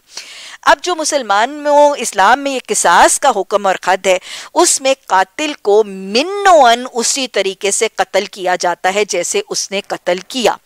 वैसे तो सजाए मौत है ना कि या तो बिजली की कुर्सी के ऊपर इलेक्ट्रीट्यूट कर देते हैं, या फांसी का फंदा है, या शूट कर देते हैं, लेकिन इस्लाम में किसास का तरीका ये नहीं है। जिस तरह कातिल ने जुल्म और ज्यादती के साथ कत्ल किया था, उसको वैसे ही पब्लिकली प्रोसिक्यूट किया जाता है ताकि वो निशान इबरत बन जाए। ये जो उसी अंदाज में कत्ल किया जाना है, इसकी, वो जो इस्लाम के खिलाफ डी फेम करने वाले और इस्लाम की तनकीद करने वाले हैं ना, वो इस किसास की हद को बहुत बड़ा एक एक फितना बना के कहते हैं कि ये मुसलमान, ये तो सेडिस हैं। इस्लाम तो सेडिज्म की तालीम देता है। और ये इतने सख्त दिल हैं कि ये कातिलों को टॉर्चर कर करके साफ़ सुथरा लटकाओ, फांसी पे और उनका काम तमाम करो। ये अजियतें दे दे के तड़पा तड़पा के मारते हैं। हाँ तड़पा के मारते हैं उनको जिन्होंने तड़पा के मारा किसी और माँ के बेटे को, ताकि वो निशान इबरत बन जाए और कोई दूसरा जालिम जो है किसी को तड़पा के मारने की आगे हिम्मत और जुर्रत ना करे। ये अल्लाह कह रहे हैं, इंसान के जिसम और उसके खून की कीमत उसका खून इतना अर्जा तो ना हो जाए, ये जुल्म और ज्यादती की नगरी तो ना बन जाए, इसलिए कहा जा रहा है, इसमें तुम्हारे लिए ज़िंदगी का पैगाम है। अगर आप देखें तो स्टेटिस्टिक्स वो लोग जमा करते हैं और फिर वो स्टेटिस्टिक्स ना उन्हीं के खिलाफ पड़ जाते हैं। रिसर्च और स्टेटिस्टिक्स हुई ऑफ़ वन मिलियन डेथ्स मुख्तलिफ़ ममालिक में और जो सो कॉल्ड बड़े अमन के प्रचार और बड़े ही ज़्यादा अपने law and order carry on करने वाले ममालिक हैं उनके अंदर ये स्टेटिस्टिक्स इकट्ठे किए गए that for one million deaths कितनी डेथ्स मर्डर की वजह से थी। अमेरिका में 82,000 कनाडा में 75,000 जर्मनी में 42,000 और फ्रांस में 32,000 deaths in one million were due to murder और कत्ल। सऊदी अरेबिया मैं उनके निज़ाम की बहुत तारीफ़ नहीं करूँगी ना निज़ाम हकूमत की लेकिन ये वो रियासत है जहाँ इस्लाम की हदूद कम अज़ कम नाफिज है और उसकी बरकत और फ्यूज नज़र आती है। सऊदी अरेबिया की रियासत में स्टेटिस्टिक्स ने बताया that only thirty two deaths were because of murder क्यों? क्योंकि कसास जारी है। कसास की खत है। ये है वाला कुमफिल कसास हयात बाब। हमारे माशरे में कसास की हद नहीं है, जुल्म जुल्म की ज्यादती की अंधेर नगरी मची है। आपने सुनी होगी वो रुदात रोंगटे खड़े हो जाते हैं रुदात में जब सुनाती हूँ, जितनी दफ़ा भी सुनाती हूँ, वो सियालकोट में दो हाफिज बच्चे थे ना दो हाफिज बच्चे थे जिनको जालमों ने लाठियाँ मार मार के सड़क के ऊपर लौटते रहे, वो रोल करते रहे, वो सिसकते, तड़पते रहे। जालिमों ने उनको लाठियाँ मार मार के शहीद कर दिया। बेटों को तो जवान करना, पालना, पोसना और फिर हाफिज बेटे बना लेंगे जिस दिन हमको एक हाफिज बेटा उस दिन मैं आपसे पूछूँगी। एक हाफिज जवान, अरे एक नहीं, दो हाफिज जवान बेटे, उनको ज़मीन के ऊपर, सड़क के ऊपर तड़पा तड़पा के मारा गया। पूछें आप उसकी माँ से कि कसास की हद ज़रूरी है कि नहीं। दादा से, उन बच्चों के दादा जिनकी बिनाई भी नहीं थी, उनसे जब पूछा गया तो उनकी आँखों के आँसू नहीं रुकते थे और वो कहते थे कि मैंने अपने पोतों को अपने हाथ से घुसलाया और उनके जिसम में कोई हड्डी भी सलामत नहीं थी। क्या हाल होगा उस दादा का? क्या हाल होगा उस बाप का? और फिर मैं आपको बताऊँ कि अगर उन जालिमों को कैफरे किरदार तक उनको किसास की हद दे दी जाती ना तो ये रुदा दोहराई ना जाती। उसके कुछ ही साल के बाद हमारे इस अस्करी टेन, लाहौर के अस्करी टेन में माँ के लिए दवा लेके जाने वाले उस बच्चे के कुछ दोस्त के किसी दुश्मनों ने आके एक नौजवान बेटे को बाज़ार में खड़े होकर वैसे ही हलाक कर दिया। ये रुदातें दोहराई जाती रहेंगी और दोहराई जा रही हैं, क्योंकि कसास हमारे माशरे में जारी नहीं। ये है वाला कुमफिल कसास हयातु या अलबाब अल्लाह हमें कुरान को अपना आइन अपना दस्तूर, अपना निज़ाम हकूमत बनाने की तोफ़ी कता फरमाए। अल्लाह इस पाकिस्तान की सरजमीन को इस्लामी पाकिस्तान बनाने की तोफ़ी कता फरमाए। तुम पर फ़र्ज़ किया गया है कि जब तुम में से किसी की मौत का वक्त आएगा और वो अपना माल पीछे छोड़ रहा होगा तो वालदेन और रिश्तेदारों के लिए मारूफ तरीके से वसीयत करेगा। ये हक है मुत्तकी लोगों पर। फिर जिन्होंने वसीयत सुनी, बाद में उसे बदल डाला तो उसका गुना उन बदलने वालों पर होगा। अल्लाह सब कुछ सुनता और जानता है। अलबत् जिसको ये अंदेशा हो कि वसीयत करने वाले ने नादानिस्ता या कसदन हक तलफी की है, फिर मामले से ताल्लुक रखने वालों के दरमियान वो इसलाह भी कर ले तो उस पर कुछ गुनाह नहीं। अल्लाह बख्शने वाला और रहम फरमाने वाला है। यहाँ पर वसीयत का एक हुक्म दिया जा रहा है कि अपने माल में से, अपनी वफात से पहले वसीयत जो तुमने करनी है, वो तमाम माल पर वसीयत कर दो। लेकिन अक्सर मुफसरीन की राय ये है कि सूरा बकरा की इस आयत नंबर 180 के बाद, जिसमें वसीयत का हुक्म किया जा रहा है, उसके बाद जब सूरा निसा के वरासत के अहकाम नाजिल हुए तो उसमें वसीयत का इख्तियार सिर्फ़ एक तिहाई या एक चौथाई माल पर कायम रहा। तो उस हवाले से ये आयत अब मनसूख है। अब वसीयत सिर्फ़ और सिर्फ़ एक तिहाई माल पर या चौथाई माल पर हदीस के एक वाक्य के हवाले से करने की इजाज़त मौजूद है। लेकिन बहरहाल, ये मैं बताती चलूँ कि नबी सल्लल्लाहु अलैहि वसल्लम की वसीयत के हवाले से हदीस है कि जो शख्स अपने माल पर वसीयत करना चाहता है, उस पर तीन दिन तीन रातें इस हाल में न गुजरें कि वो वसीयत उसके पास लिखी हुई मौजूद हो। सूरा बकरा का रकू नंबर तेईस ये रकू रमज़ान और रोज़े के अहकाम के हवाले से है। मैं इसको बुनियादी तौर पर पढ़ूँगी और बहुत मुख्तर वजाहत करूँगी, क्योंकि रमज़ान से पहले जो लेक्चर हमारा हुआ करता है, जो सामीन ज़रूर सुन भी लिया करते हैं कि कुरान हदीस की रोशनी में रमज़ान कैसे गुजारें और इस्तबाल रमज़ान के प्रोग्राम्स में हम इस पर बहुत वजाहत से बात कर चुके होते। अल्लाह फरमा रहे कि लोगों जो ईमान लाए हो, तुम पर रोज़े फ़र्ज़ किए गए हैं। गोया रोज़ा फरीज़ा दीन, हुक्म खुदाबंदी और दीन का सतून है। जिस तरह तुमसे पहले अम्बिया पर रोज़े फ़र्ज़ किए गए थे, गोया ये पिछली शरीयतों में भी थे। उनका तरीका और उनका अंदाज फ़र्क था, लेकिन रोज़े पिछली शरीयतों में भी थी। और ये रोज़े क्यों फ़र्ज़ किए गए? लकुम तत्तकून, ताकि तुम मुत्तकी बन जाओ। तकवा ट्रेनिंग प्रोग्राम है ये रमज़ान का महीना। रोज़ा तकवा के इजाफे का ज़रिया बनता है। अल्लाह आती नफसी तकवा चंद मुकर्र दिनों के रोज़े। वाकई अयाम मदूदात गुजरते आते हैं तो पहले लोगों को लग रहा होता है, इतना लंबा रोजा, इतने घंटों के रोज़े गिन रहे होते हैं, और फिर दिन कितने हैं, कब शुरू होंगे? और गुजरते हैं गुजरते हैं, पहला अशरा उड़ के गुजर जाते हैं, दूसरा अशरा भी समझ नहीं आता, और तीसरा अशरा तो उदासी में ही निकल जाता है। तो अल्लाह ने फरमाया, चंद दिनों के रोज़े, अगर तुम में से कोई बीमार हो, ये माफ़ कर लीजिए, ये इब्तदाई हुक्म था। वो लोग जो भी रोज़े के आदि नहीं थे, उनको इनिशियल हुक्म दिया गया था कि चाहो तो तुम रखो, चाहे तो तुम छोड़ो, चाहे तो तुम फिदिया दे दो। लेकिन अगली आयत आने के बाद ये हुक्म जो है वो मनसूख हो गया। अगर तुम में से कोई बीमार हो या सफ़र पर हो तो दूसरे दिनों में इतनी तादाद पूरी कर ले और जो लोग रोज़ा रखने की कुदरत रखते हैं तो फिर वो क्या करें? कुदरत रखते हैं और फिर ना रखें तो वो फिदिया दें। एक रोज़े का फिदिया क्या है? ताम मिस्कीन। एक मिस्कीन को खाना, सुबह शाम का खाना खिलाना इट कैन बी एनी मिस्कीन रोज़ेदार होना ज़रूरी नहीं है। अगर रोज़ेदार होगा तो सहरी और इफ्तार और रोज़ा रखवाने का भी अजर मिल जाएगा। दो टाइम का खाना आज के दौर में तकरीबन डेढ़ से दो सौ रुपए औसतन। अगर कोई इसे ज़्यादा करना चाहता है तो वो इससे ज़्यादा हो सकता है। ये कैश में हो सकता है काइंड में हो सकता है, इकट्ठा हो सकता है और अलग भी हो सकता है। एक मस्किन को खाना खिलाना, लेकिन अगली आयत के बाद ये फिदिये की इजाज़त सिर्फ़ और सिर्फ़ उन बीमारों के लिए छोड़ दी गई है जिनके सेहत याब होने की उम्मीद नहीं है। बाकी किसी हालत में फिदिया नहीं है। जो अपनी खुशी से कुछ ज्यादती करे तो उसके लिए बेहतर है। लेकिन अगर तुम समझो तो ये तुम्हारे हक में यही अच्छा है। ये आयत अब मनसूख है।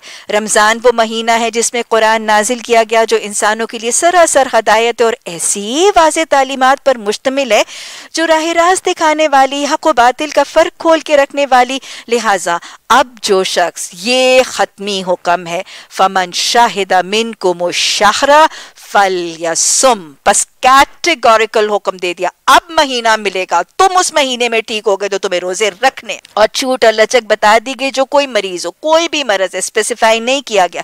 अवला सफरिन किसी भी सफ़र पर है तो फिर वो दूसरे दिनों में रखे। ये दो लचक कुरान में है, और हदीस में हमें पता चलता है कि हामला को, रजात करने वाली को और हैज़ और निफास में तो वैसे ही रोज़े नहीं रखेंगे। लेकिन वो क्या करेंगे? फ़ायदतुम नयामिन उखर, वो दूसरे दिनों में रोज़े पूरे करेंगे। अल्लाह तुम्हारे साथ नरमी करना चाहता है, सख्ती नहीं चाहता। इसलिए यह तरीका तुम्हें बताया जा रहा है ताकि तुम रोज़ों की तादाद पूरी करो। जिस हदायत से अल्लाह ने तुम्हें सरफराज किया, उस पर अल्लाह की किबरियाई का इजहार और इतराफ़ करो और शुक्रगुजार बनो।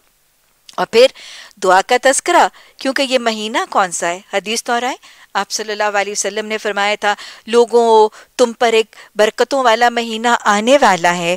अल्लाह इसमें लोगों को अपनी रहमतों से ढांप लेते हैं, लोगों के गुनाह बख्श देते हैं और लोगों की दुआएँ कबूल करते हैं। लिहाजा तुम भी अपने रब को अपनी तरफ़ से भलाई ही दिखाओ। तो अल्लाह दुआ का तस्करा फरमा रहे हैं। मेरे बंदे अगर तुमसे मेरे बारे में पूछें तो उन्हें बता दो, मैं करीब हूँ, कितना करीब हूँ।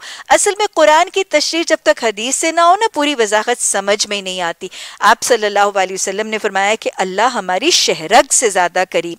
मैं करीब हूँ और पुकारने वाला जब मुझे पुकारते हैं तो मैं उसकी पुकार सुनता हूँ। आप देखें कि कोई शख्स हमारे रिश्ते के हवाले से बहुत करीब, हमारे दिल से बहुत करीब होता है। कई दफ़ा कोई हमारी पोजीशन में बहुत ही करीब होता है। पास बैठी हुई बेटी या बेटा या शोहर आज अपने मोबाइल में इतना मस्त होता है कि वो करीब होने के बावजूद भी नहीं सुनता, है ना?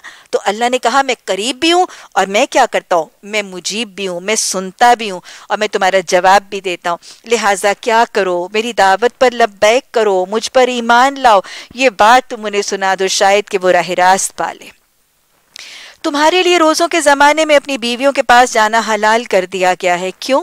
हुन्ना लिबासुल्लकुम व अंग तुम लिबासुल्ला बीवियों की तरफ़ ताल्लुक कायम करना रमज़ान की रातों में हलाल करने की वजह बताई जा रही है और वजह तो जो बताई जा रही है, वो है ही। लेकिन असल बात यह है कि ये तकरीबन सात हरूफ पर मुश्तमिल ये आयत, ये इतनी जामे आयत है। और मैं कहूँगी कि ऐसे लगता है कि जैसे समुंदर को एक कोजे में समो दिया गया और कुरान की जामियत का एक नमूना भी है ये आयत कि इन सात हरूफ पर मुश्तमिल आयत में अल्लाह सुबहाना ताला ने एक कामयाब, एक खुशहाल अजवाजी ज़िंदगी और एक मोहब्बत से भरे हुए अजवाजी ताल्लुक का तरीका और नुस्खा एक मिसाल के ज़रिए समझा दिया। आज अमूमन लोगों का तरीका कार ये होता है कि कोई बड़े जो पॉपुलर दुनियावी वो मैगजीन्स होते हैं रीडर डाइजेस्ट के अंदर आ जाए ना ten tips for happy family life तो बड़े गौर से लोग पढ़ते हैं। तो ये tips golden tip for a happy family life खूबसूरत अजवाजी ज़िंदगी का असूल। अल्लाह सुबहाना ताला ने अजवाज के ताल्लुक को जिसम और लिबास से तशबी देकर समझाया। पहले देख लीजिए कि जिसम और लिबास का ताल्लुक कैसा है और वही ताल्लुक मियाँ बीवी का होना ज़रूरी है इस आयत की रूह से। जिसम लिबास के करीब तरीन होता है। हमारे जिसम के सबसे करीब चीज़ क्या है? हमारा लिबास है। लिबास हमारे जिसम की हिफाजत करता है। इसको ऐबों से ढांप लेता है। जो जिसम का ऐब होता है, वो लिबास उसको कवर अप कर लेता है, उसको ढांप देता है। लिबास जिसम को सुकून और राहत देता है। गर्मी, सर्दी, धूप, छाँव से महफूज करता है। लिबास इज़्ज़त और पहचान का ज़रिया बनता है। बस, यही बीवी को शोहर के लिए और यही शोहर को बीवी के लिए बनना ज़रूरी है। कुर्ब सबसे ज़्यादा अजवाज में होगा बीवी शोहर के और शोहर बीवी के सबसे ज़्यादा करीब होगी। और हदीस हज़रत आयशा रज़ी अल्लाह तहा की रवायत से हदीस है कि आप सल्लल्लाहु अलैहि वसल्लम ने फरमाया, एक मर्द के लिए कुर्ब सबसे ज़्यादा उसकी बीवी का है और हक सबसे ज़्यादा उसकी माँ का है। कुर्ब का मतलब है क्लोजनेस जिस्मानी, रूहानी साइकोलॉजिकल इमोशनल कुर्ब है शेयरिंग है बॉन्डिंग है, वो सब कुछ सबसे ज़्यादा बीवी के साथ होगा, लेकिन हक खिदमत का, अतात का फर्मा बरदारी का, इज़्ज़त का, अदब का और जो है बात मानने का हक सबसे ज़्यादा माँ का होगा। बहुत खूबसूरत है मेरा दीन, बहुत एहसान है मेरे रब का कि हमें हमारी ज़िंदगी के बहुत से मरकलों के आगाज़ से पहले ही वो असूल और वो तरीके बता देता है। आप देखें कि आप देखें कि बहुत से मर्दों को ये तरीका कार ही शादी के बाद समझ में नहीं आ रहा होता कि वो बीवी को कहाँ रखे और वो माँ को कहाँ रखे। और वो घर का कवाम जब ना माँ को सही पोजीशन और ना बीवी को सही पोजीशन दे सकता है, फिर वो टसल ऑफ़ मोहब्बत और टसल ऑफ़ अट्रैक्शन जो शुरू होती है, जो एंडलेस एंडलेस वो टसल शुरू होती है और झगड़ा और फसाद घर में कायम रहता है। बहुत से बहुत से बेटे जो हैं, वो कुर्ब माँ से ज़्यादा कर लेते हैं और हक बीवी को ज़्यादा दे देते हैं और और उनको समझ ही नहीं आता। वो लोग जिनके पास कुरान नहीं है ना, मैं तो उन पर तर्स करती हूँ। वो अपनी ज़िंदगी के हिट एंड ट्रायल के तजर्बों से सीखते हैं और अपने ज़िंदगी के तजर्बों के साथ सीखने के बाद जब ज़िंदगी के तजर्बों से पता चलता है, तब तक ज़िंदगी गुजर चुकी हो रही होती है। और ज़िंदगी में जो फितना, फसाद, झगड़ा, तूफ़ान आना होता है, वो आ चुका होता है और अब वो अंडू थोड़ा होता है। लेकिन और फिर हाँ जब वो अपनी ज़िंदगी के तजुर्बों से सीखते हैं और बच्चों को कहते हैं कि तुम मेरी ज़िंदगी के तजुर्बों से सीखो, मैंने धूप में बाल सफ़ेद नहीं किए तो बच्चे फिर उसके तजुर्बे से नहीं, वो फिर अपने तजुर्बे से सीखने पर तैयार होते लेकिन मेरे रब का एहसान है हम मुसलमानों पर हम मिलाने कुरान पर, कि हमें हमारे ज़िंदगी के मरलों से पहले ही तरीके बता देते और नाकामी से बचा देते तो ये वो बड़ा खूबसूरत एतदाल वाला तरीका है कि कुर्ब सबसे ज़्यादा बीवी के साथ होगा और हक ज़्यादा माँ का होगा। फिर उसके बाद बीवी को शोहर के लिए और शोहर को बीवी के लिए क्या करना है? एबो एब पर पर्दा डालने का ज़रिया बनाना है। ऐबों को उछालना, ऐब जोई करना, उनको नशर करना, ये अजवाज का तरीका नहीं है। लिबास ऐबों को ढांपता है तो दोनों अजवाज एक दूसरे के ऐबों को ढांपेंगे।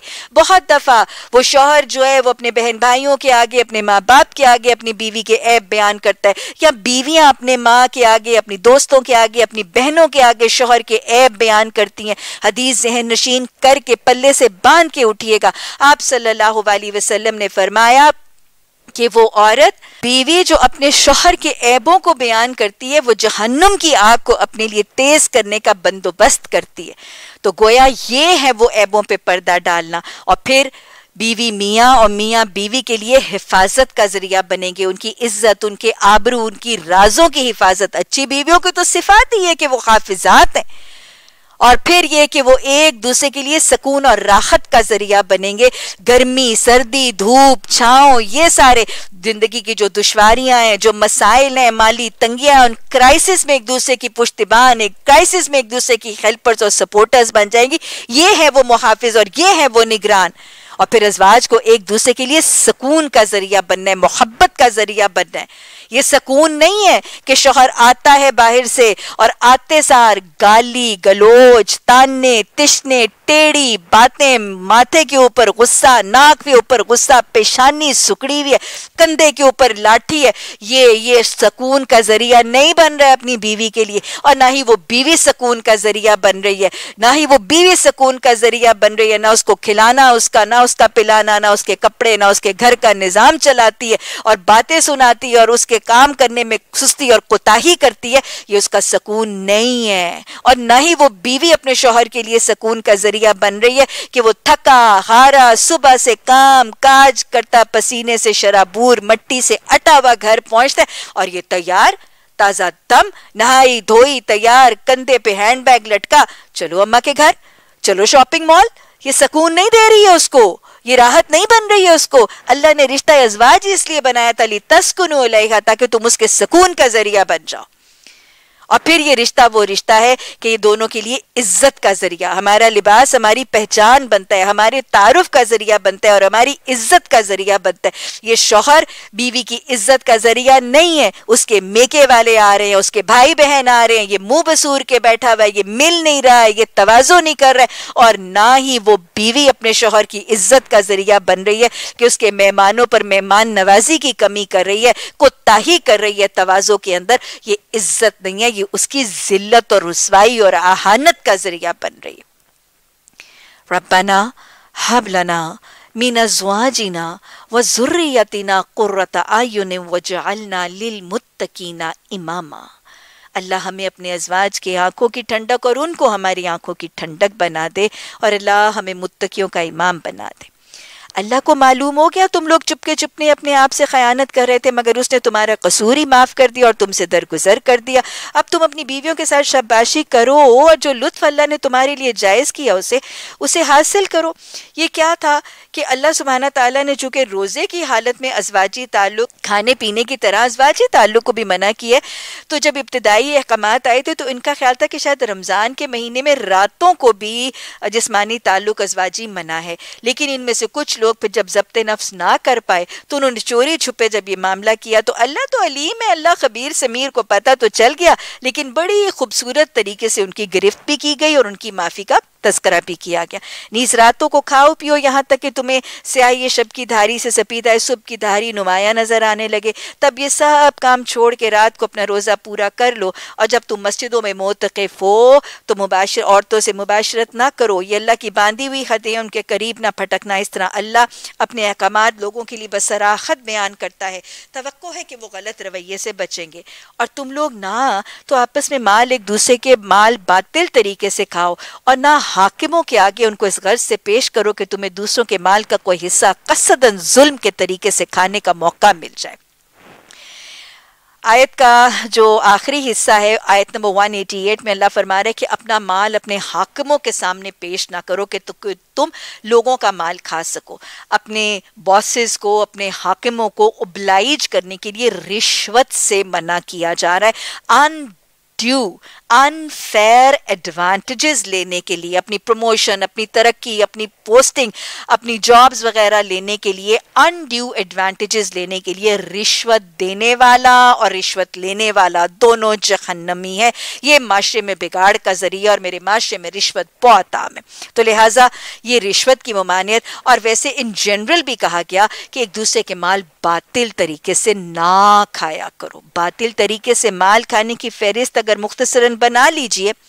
चोरी डाका रहजनी डकेती लूट मार गसब गबन जुल्म, ज्यादती, वरासत में कमी या सारे के सारे तजारती मामला के अंदर बिज़नेस और ट्रेड और ट्रांजेक्शन के मामला के अंदर खरत बरत झूठी कसम खा के माल बेच देना, नाकारा रद्दी, नाकिस माल छुपा के बेच देना, मिलावट और एडल्ट्रेशन करना होर्डिंग और ब्लैक मार्केटिंग करना जखीरा अंदोजी करना या ज़्यादा कीमतों पर माल बेच देना, ये सब क्या है? ये तजारती बेईमानियाँ, ये सब का सब नाकिस तरीके से बातिल तरीके से माल खाने के जुमरे में शामिल होते हैं और फिर इनशाला बात तो आगे होगी। बातिल तरीके के माल खाने के हवाले से फहरिस्त में ये भी ज़रूर शामिल है।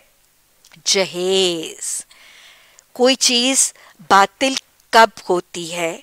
हक जब वो नहीं तो वो बातिल है। और हमारे लिए हक कैसे साबित होता है?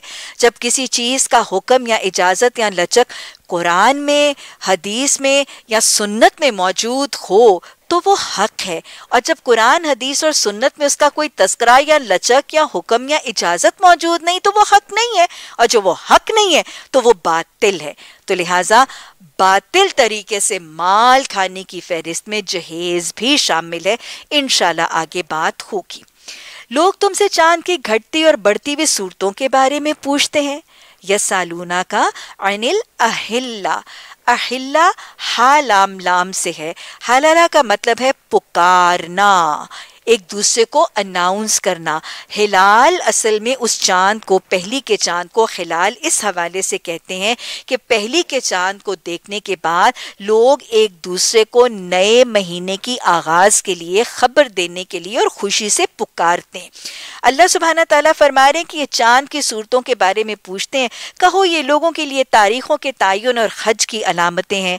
ये असल में अगर हम देखें तो चाँद की घटती और बढ़ती शक्लों के बारे में वहम और सुपरस्टिशन और बद जो शगुनी का तस्वुर है, मुशकिन मक्का जो है ना, वो बहुत सुपरस्टिशियस लोग थे और बहुत सी चीज़ों के साथ ओहाम को मंसूब करते थे और बदशगुनियाँ मंसूब करते थे।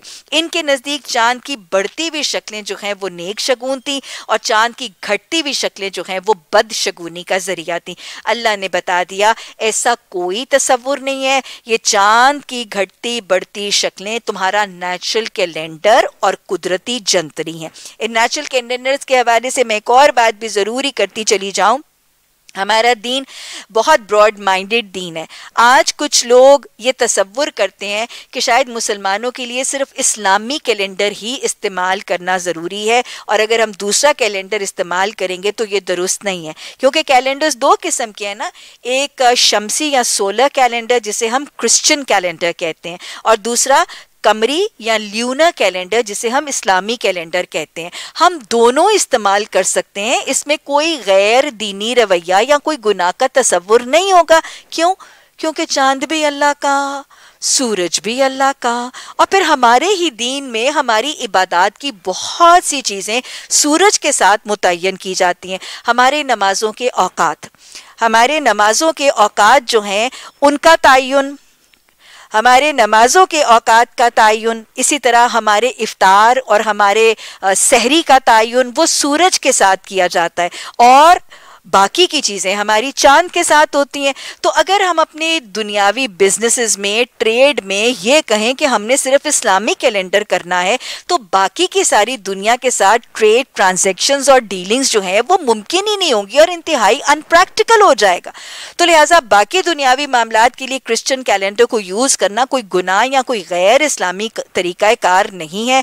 लेकिन हाँ कुछ चीज़ें हैं। जैसे हमारे रोज़ों का महीना, इसका आगाज़, इसका इंतहा, हज के महीने, इसी तरह तलाक की इद्दत, बेवा की इद्दत, रजात का पीरियड, ये सारे का सारा कुछ जो है, ये किसके साथ होगा? ये अलबत्ता कमरी महीने और कमरी कैलेंडर के साथ इनका तयन होगा।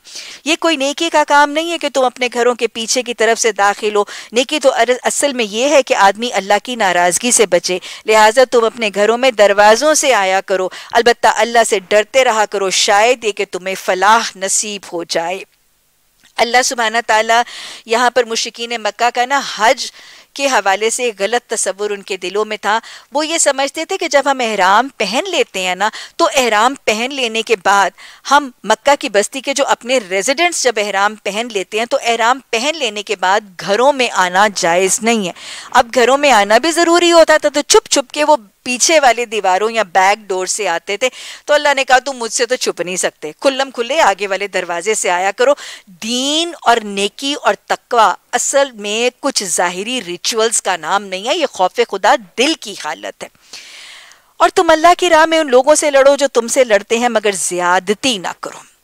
वक़ौतिलुफ़ी सबील्लाह किताल और जंग का हुक्म और इजाज़त दी जा रही नबी सल्लल्लाहु अलैहि वसल्लम का मक्की दौर, उसमें मुसलमानों को कुफ़ु आइदियाकुम हाथ रोकने का हुक्म दिया गया था और उनको वस्तीन बिसब्री वसलात की तरफ़ माइल किया गया था और मक्का की बस्ती में उनको जंग से रोका गया था और उसकी मुख्तलिफ़ वजूहत है। एक तो ये नौ मुस्लिम थे, कमज़ोर थे इनका ईमान ही इतना कमज़ोर था। और फिर अल्लाह सुबहाना ताला इनको हाथ रोके, इनके सब्र को भी तो आजमाना चाहता था। और फिर असल बात यह है कि ये एन भीड़ों के छट्टे दुश्मनों के नरगे में थे, थोड़े से थे, कमज़ोर से थे। मुट्ठी भर जमात जो दुश्मनों के नरगे में जब नहीं मार रहे थे तो तब मारे जा रहे और काटे जा रहे थे। अगर ये रिएक्ट और रिटेलिएट करने लगते तो फिर तो बिल्कुल खत्म कर दिए जाते। तो इसलिए अल्लाह सुबहाना ताला ने मक्का की बस्ती में हाथ रोकने का हुक्म दिया था और जंग से मना किया था। लेकिन हिजरत के बाद पहले किताल की इजाज़त और फिर किताल का हुक्म दे दिया गया। तो ये सूरा बकरा की आयत नंबर 190 में अल्लाह सुबहाना ताला ये हिजरत के बाद अब जंग और किताल की इजाज़त दी जा रही है और ये जंग और किताल का पहला हुक्म है जो कुरान में आ रहा है। लेकिन आप इस हुक्म को पढ़ के देखें तो आपको समझ आएगा कि इस्लाम कितना अमन का दीन है और कितने अमन का तरीका सिखाता है। The first time ever Allah is talking about किताल in Quran. पूरे का पूरा चार्टर दिया जा रहा है। किससे होगा, क्यों होगा, कब होगा, किस तरह होगा, किस हद तक होगा और कब खत्म कर दिया जाएगा। पूरा चार्टर और उसमें कितना अमन। अल्लाह ने फरमाया, उन लोगों से लड़ो जो तुमसे लड़ते हैं। गोया निहत्ते, पुरअमन शहरियों, वो दुश्मन भी हैं, दुश्मन भी हैं, लेकिन अगर वो निहत्ते हैं, वो पुरअमन है, वो जंग का पहल नहीं करते तो मुसलमान जंग की पहल नहीं करेगा। ये अमन का पैगाम। किन से लड़ो? और जब लड़ो तो कैसे लड़ो? वाला तातदू, ज्यादती ना करना। क्यों? ज्यादती क्यों ना करें? दुश्मन है। इसलिए ज्यादती ना करना कि अल्लाह ज्यादती करने वालों को पसंद ही नहीं करता। ज्यादती करोगे, जंग में काफिरों के साथ, दुश्मनों के साथ भी ज्यादती करोगे तो अल्लाह की मोहब्बत से महरूम हो जाओगे और इस आयत की तशरी वाला तातदू जंग में ज्यादती ना करो की तशरी हदीस से आती है। आप सल्लल्लाहु अलैहि वसल्लम का हवाला में पता चलता है, मुहिम के लिए एक मैदान जंग की एक्सपीडिशन के लिए किसी सिपा सालार को जब आप लॉन्च करते थे तो उस आर्मी के कमांडर इन चीफ को जो आप इंस्ट्रक्शंस देते थे, ये है वलाता तदू की तशरी आप फरमाया करते थे कि देखो, क्या ना करना, दरख्तों को ना काटना। खेतों को बर्बाद ना करना, इमारतों को ना ढाना, माबदों को, यानी इबादत खानों को मिसमार ना करना डिमोलिश ना करना, बच्चों, औरतों, बूढ़ों और ज़यीफ़ों के ऊपर हाथ ना उठाना और लाशों का मुसला ना करना, यानी डेड बॉडीज जो उनके जिस्म के आज़ा के टुकड़े टुकड़े ना करना। कितना अमन का पैगाम है। कितना ज़्यादा तहमुल का पैगाम है।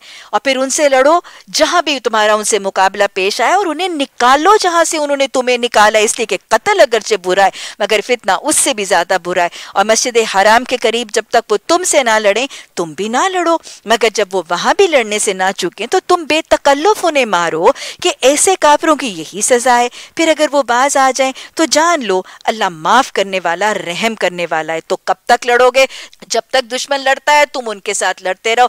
दुश्मन जब पीस कर लेता है सीज फायर कर लेता है ट्रूस कर लेता है, अमन का सब सफ़ेद झंडा लहरा देता है तो तुम भी उनके अमन के पैगाम को कबूल कर लो और तुम उनसे लड़ते रहो। यानी कब तक लड़ोगे? हत्ता तकूना फितना, जब तक फितना ना रहे। इस्लाम में जंग का मकसद फितने का खात्मा होगा।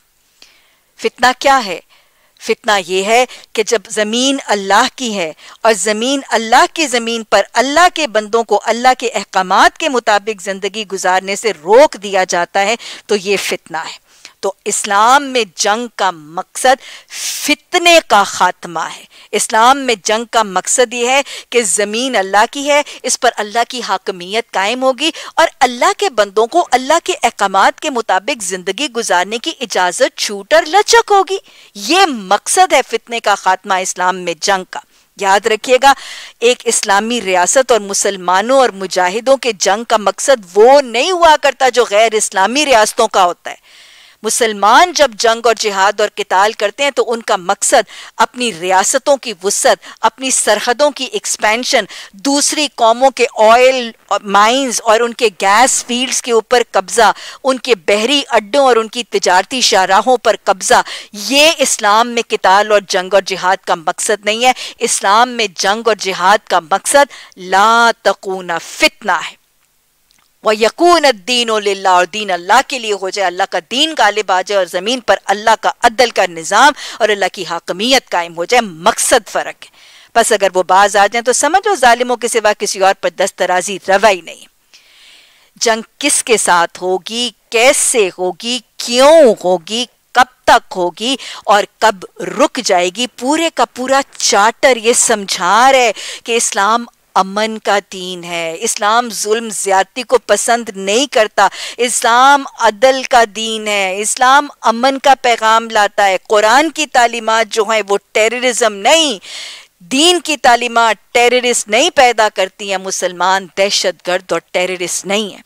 और आज कुरान की तालीमत को टेररिज्म की तालीमत और मुसलमानों को टेररिस्ट टेररिस्ट और दहशत गर्द कहने वालों की अपनी तारीखें तो देख लें। उनकी अपनी जंगों की रुदादें तो देख लें, जिसमें हलाकू खान है, जिसमें चंगेज खान है, वो खोपड़ियों के मीनार बनाते थे और उसके ऊपर अपना तकबर का तख्त रखते थे। अगर आप देख लीजिए तो वर्ल्ड वॉर्स में हिटलर की रुदादे मौजूद हैं, जिसने गैस चैम्बर्स बनाए थे और सारे के सारे जो दुश्मनों को, कैदियों को, उन गैस चैम्बर्स में सफोकेट करके, सिसक सिसक के, तड़प तड़प के मरने के लिए गैस चैम्बर्स में सफोकेट करके उनको कत्ल कर दिया जाता था। या वो जो साइबेरियन डेथ मार्च? हज़ारों की तादाद में वो जंगी कैदी पूरी की पूरी आर्मी को साइबेरियन डेजर्ट के अंदर, बर्फ़ के अंदर, उस रेगिस्तानी बर्फीले इलाके में पूरी की पूरी फौज को उन सबको साइबेरियन मार्च पर जबरन मजबूर कर दिया गया था। ना खाना था, ना रोटी थी, ना पानी थी, ना कुछ भी नहीं था। पूरी की पूरा लश्कर जो है उस आर्मी का, वो तड़प तड़प के साइबेरियन डेजर्ट के अंदर खलाक हो गया था। इन डेथ मार्च की रुदादों वालों के पास है कोई कैफियत कि वो हमें कहें कि हम टेररिस्ट हैं? हम पर इल्ज़ाम लगाते हैं और टेररिज्म खुद करते हैं, उनके गौंतनामा की रुदादे देख लें, उनके अफ़गानिस्तान के किस्से देख लें, उनके कश्मीर के लॉकडाउन की रुदादे देख लें, उनका चेहरा है, उनके रवैये हैं हमें दहशतगर्द कहने के? खुद दहशत गर्दी करते हैं, खुद कत्ल करते हैं, खुद जुल्म की अंधेर नगरी मचाते और हमें दहशत गर्द कह देते हैं, हमें जुल्म और ज़्यादा का दीन कह देते अल्लाह हमें समझने और समझाने की तोफीक कता फरमाए। माह हराम का बदला माह हराम ही है और तमाम हरमतों का लिहाज बराबरी के साथ है। लिहाजा जो तुम पर दस्त तराजी करे, तुम भी इसी तरह दस्त तराजी कर लो। अलबत् अल्लाह से डरते रहो और ये जान रखो कि अल्लाह उन लोगों के साथ है जो उसकी हदूद तोड़ने से परहेज करते हरमतों वाले महीने, हमें पता है, चार हैं। अल्लाह ने कुरान में फरमाया, इन्ना इद्दत शहूर इंदल्ला अल्लाह के नज़दीक महीनों की तादाद कितनी है? दो और दस, यानी बारह। और इन बारह में से शुरू से फ्रॉम डे वन कायनात ज़मीन आसमान बनाए गए थे। बारह महीने बने, उनमें चार खराम है। कौन से? रजब जिका जिलहज और मुहर्रम। ये उम्र और सफ, हज के महीने हैं। और इसमें मना क्या किया गया था? हरमत किस चीज़ की थी? कत्ल की राजनी की, डकैती की लूट मार की, फिस्क वजूर की हरमत थी। अब द पर्पज वॉज़ वॉट कि वो जो आजमीन हज और आजमीन उम्र के सफ़र करते हैं, उस ज़माने में जो रेजन या डकैतियाँ थी, उनको इन डेंजर्स और इन ख़तरात से महफूज करके आजमीन उम्र और आजमीन हज का सफ़र आसान कर दिया जाए। लेकिन मुश्किन मक्का आगे रुदाद आएगी नसी की। वो एक महीने को हराम और दूसरे महीने को हलाल करके रद्द बदल करते थे, उसकी नफ़ी की गई। अल्लाह की राह में खर्च करो। अपने हाथों को, अपने आप अपने आप को हलाकत में ना डालो। एहसान का तरीका इख्तियार करो। इन अल्लाह एहसान करने वालों से मोहब्बत करता है। एहसान क्या है? अपने फ़र्ज़ से ज़्यादा करना, किसी को उसके हक से ज़्यादा देना, दुनिया की रज़ा के लिए नहीं, महज अल्लाह की रज़ा के लिए खलूस से करना और महज दूसरे शख्स को अपने दुनियावी अगराज व मकासद के लिए नहीं, महज उस शख्स को सुकून और राहत देने के लिए करना। एहसान ये है कि जब इबादत में हुसन हो, इबादत में हुसन क्या है? कि तुम इबादत अल्लाह की ऐसे करो कि गोया वो तुम्हें तुम उसको देख रहे हो और अगर ऐसे नहीं कर सकते तो कम अज कम ऐसे तो करो कि वो तुम्हें देख रहा है। इबादत में हुसन है, अखलाक में हुसन है, मामलात में हुसन है। अल्लाह हमें मुहसिन बना दे, हमारे अखलाक और मामलात में हुसन अता फरमा दे। अल्लाह की खुशनुदी के लिए जब हज और उम्र की नीयत करो तो उसे पूरा कर दो। अगर कहीं घिर जाओ तो जो कुर्बानी मुयसर आए, उसे अल्लाह की जनाब में पेश करो। यहाँ से आगे तकरीबन दो रकुआत में हज के हवाले से अहकाम हैं। सूरा हज भी एक मुकम्मल सूरत है जो हज के अहकाम के हवाले से उसका नाम है, लेकिन उस सूरत में इतनी वजाहत से हज के अहकाम नहीं हैं जितने कुरान की कोहान सूरा बकरा में है। हज एक जिस्मानी और एक माली इबादत का मुरक्कब है। हज हुक्म खुदाबंदी और फरीज़ाए दीन है। हज दीन का सतून है। हज की फर्जियत के लिए अल्लाह ने फरमाया व मनस्तता ही सबीला कि जो हरम की तरफ़ आने की इस्तात रखता है, उस पर हज फ़र्ज़ है। आप सल्लल्लाहु अलैहि वसल्लम ने फरमाया कि जिस शख्स को ना किसी रोकने वाले मरज ने रोका, ना किसी जालिम हुक्मरान ने रोका, और ना ही सवारी की हाजत ने रोका। इसके बावजूद उसने हज न किया। उसे इख्तियार है, चाहे यहूदी मरे, चाहे नसरानी मरे। तो गोया हज किस पर फ़र्ज़ है? हर आकिल, यानी होश वाला, हर मुसलमान जो आकिल है, जो बालिग है, वो मर्द है या औरत, अगर वो साहिब इस्तात है तो उस पर हज फ़र्ज़ है। इस्तात मर्दों में जो इस्तात है, वो क्या है? माली इस्तात, यानी इकोनॉमिक अफोर्डेबिलिटी इतनी है कि वो अखराज बर्दाश्त कर सकता है हज की सवारी और वहाँ पे हज की सहूनत सकूनत और रिहाइश के। और जिसमानी इस्तात भी है कि फ़िज़िकली इतनी इंट्योरेंस है कि वो फ़िज़िकली बीमार नहीं है, कमज़ोर नहीं है, ज़यीफ़ नहीं है, वो जो हज का मुशक्क़त वाला सफ़र और बनासी के हज की मुशक्क़तें उसको वो बर्दाश्त कर सकता है।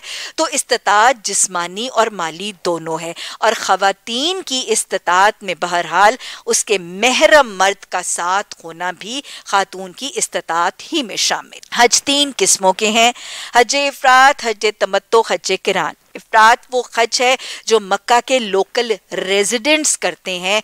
ये साथ उम्र सकते और इनके लिए कुर्बानी भी लाजिम नहीं है। हज तमत्तो अमूमन वो हज है जो नॉर्मली आम सभी लोग, हम पाकिस्तान से जाने वाले भी या वर्ल्ड ओवर आने वाले लोग जो नॉर्मली हज होता है, वो हज तमत्तो है। इसका रूट वर्ड मीम पा आइन, मता कहते हैं फ़ायदे को। तो हज तमत्तो गोया वो हज की किस्म है जिसमें हाजी पहले एक एहराम पहनकर उम्र करता है और फिर उम्र उतार के असेंशियल एक उम्र उम्र फ्री पीरियड का मता यानी फ़ायदा उठाता है।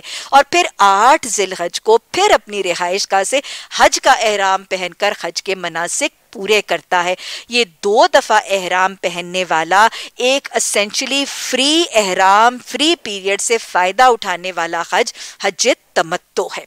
इनके लिए कुर्बानी फ़र्ज़ है और इनमें किसी किस्म के तवाफ या किसी किस्म की सही की कोई छूट मौजूद नहीं है। दूसरे किस्म, तीसरे किस्म का हज हज किरान है। कराना का मतलब है जमा करना।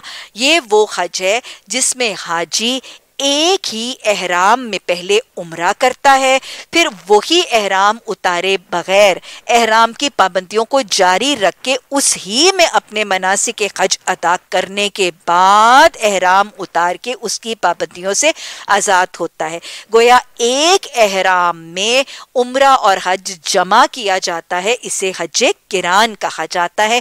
ये वो हज है जो नबी सल्लल्लाहु अलैहि वसल्लम ने अपनी हयात तैयबा में वाहिद हज किया किया हजतुल विदा, वो हज किरान था।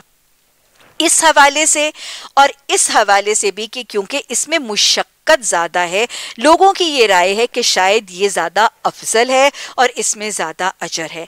ऐसी कोई बात ना कुरान से साबित है और ना ही हदीस से साबित है कि हज किरान का अजर ज़्यादा है। आप सल्लल्लाहु अलैहि वसल्लम का तो बल्कि इसके बिल्कुल बरखिलाफ हदीस के अल्फाज हैं कि आप सल्लल्लाहु अलैहि वसल्लम ने फरमाया कि मैं चूँकि अपनी अपनी हदी यानी कुर्बानी के जानवर अपने साथ लाया था। आपने नीयत और इरादा हज किरान का किया था और अपनी हदी के जानवर अपने साथ लेकर गए थे। आपने फरमाया, चूँकि मैं हदी के जानवर साथ लाया हूँ और मैंने हज किरान का इरादा किया है। लिहाजा मैं वही करूँगा। लेकिन तुम अपने एहराम खोल दो, एहराम की पाबंदियों से आज़ाद हो जाओ और आपने बाकी तमाम हज में जाने वाले साथियों को हज तमत्तो का की ताकीद फरमाई। और आपने ये भी फरमाया, सवाए वो शख्स जिसने मेरी तरह हज करने का इरादा किया। हज़रत अली रज़ी अल्लाह तन मदीना के अलावा कहीं और से आ रहे थे और उन्होंने नीयत में ये इरादा किया था कि वो नबी सल्लल्लाहु अलैहि वसल्लम की तरह हज करेंगे लोग गोया उन्होंने भी हज किरान किया। अगर ये ज़्यादा अफजल होता तो वो अलैहि वसल्लम जो लैलतुल कदर के लिए अपने अहल खाना को, अजवाज मुताहरात को और बाकियों को जागने की और ताकीद कर रहे हैं कि इसकी सादतों को समेटो या आप अशरजिल हज की सादतें समेटने की ताकीद कर रहे हैं, अगर ये अफजल होता तो आप सहाबा कराम को कभी ना रोकते और कभी तमत्तो की ताकीद ना करते, हज तमत्तो की। ये अफजल नहीं है, ये बेजा का अपने आप को मुशक्क़त और मुसीबत में डालने का मामला है। अगर उस मुशक्क़त में अजर के लिए डालेंगे और फिर एहराम की पाबंदियों को कायम ना रख सके तो फिर दम वाजिब होगा। ये सिर्फ़ वो शख्स करेगा जो कोई फ़्लाइट डिलेड है और ताखिर से पहुँचा है और वक्त इतना है कि किरान करके हज को जारी किया जाए, वरना ये ज़्यादा अफजल नहीं है। हज के हवाले से, हज के तरीके के हवाले से अगर मैं मुख्तसरन बात करूँ तो जस्ट स्टे विद मी और जो लोग हज और उम्र करके आए हैं, हम सब जब ये रुदाज सुनेंगे तो हमें ऐसे लगेगा जैसे हमारा वो सफ़र हमारी आँखों के सामने घूम गया। हज के लिए जो पहली चीज़, जो शर्त है, वो क्या है? एहराम। एहराम मर्दों के लिए तो दो सादी टोटली अनस्टिच्ड अनसिली सादी प्रेफरेबली सुन्नत के करीब होना चाहते हैं तो सफ़ेद चादरें, जिसके साथ उनका सर भी खुला होगा, उनके पाँव के टखने भी खुले होंगे। यहाँ तक कि अगर जूता नहीं है और मोजे पहनने हैं तो भी उनको टखनों से नीचे तक रखा जाएगा या काट लिया जाएगा। ये तो सीधा सादा सिंपल दरवेशाना लिबास जो है, वो मर्दों का एहराम है।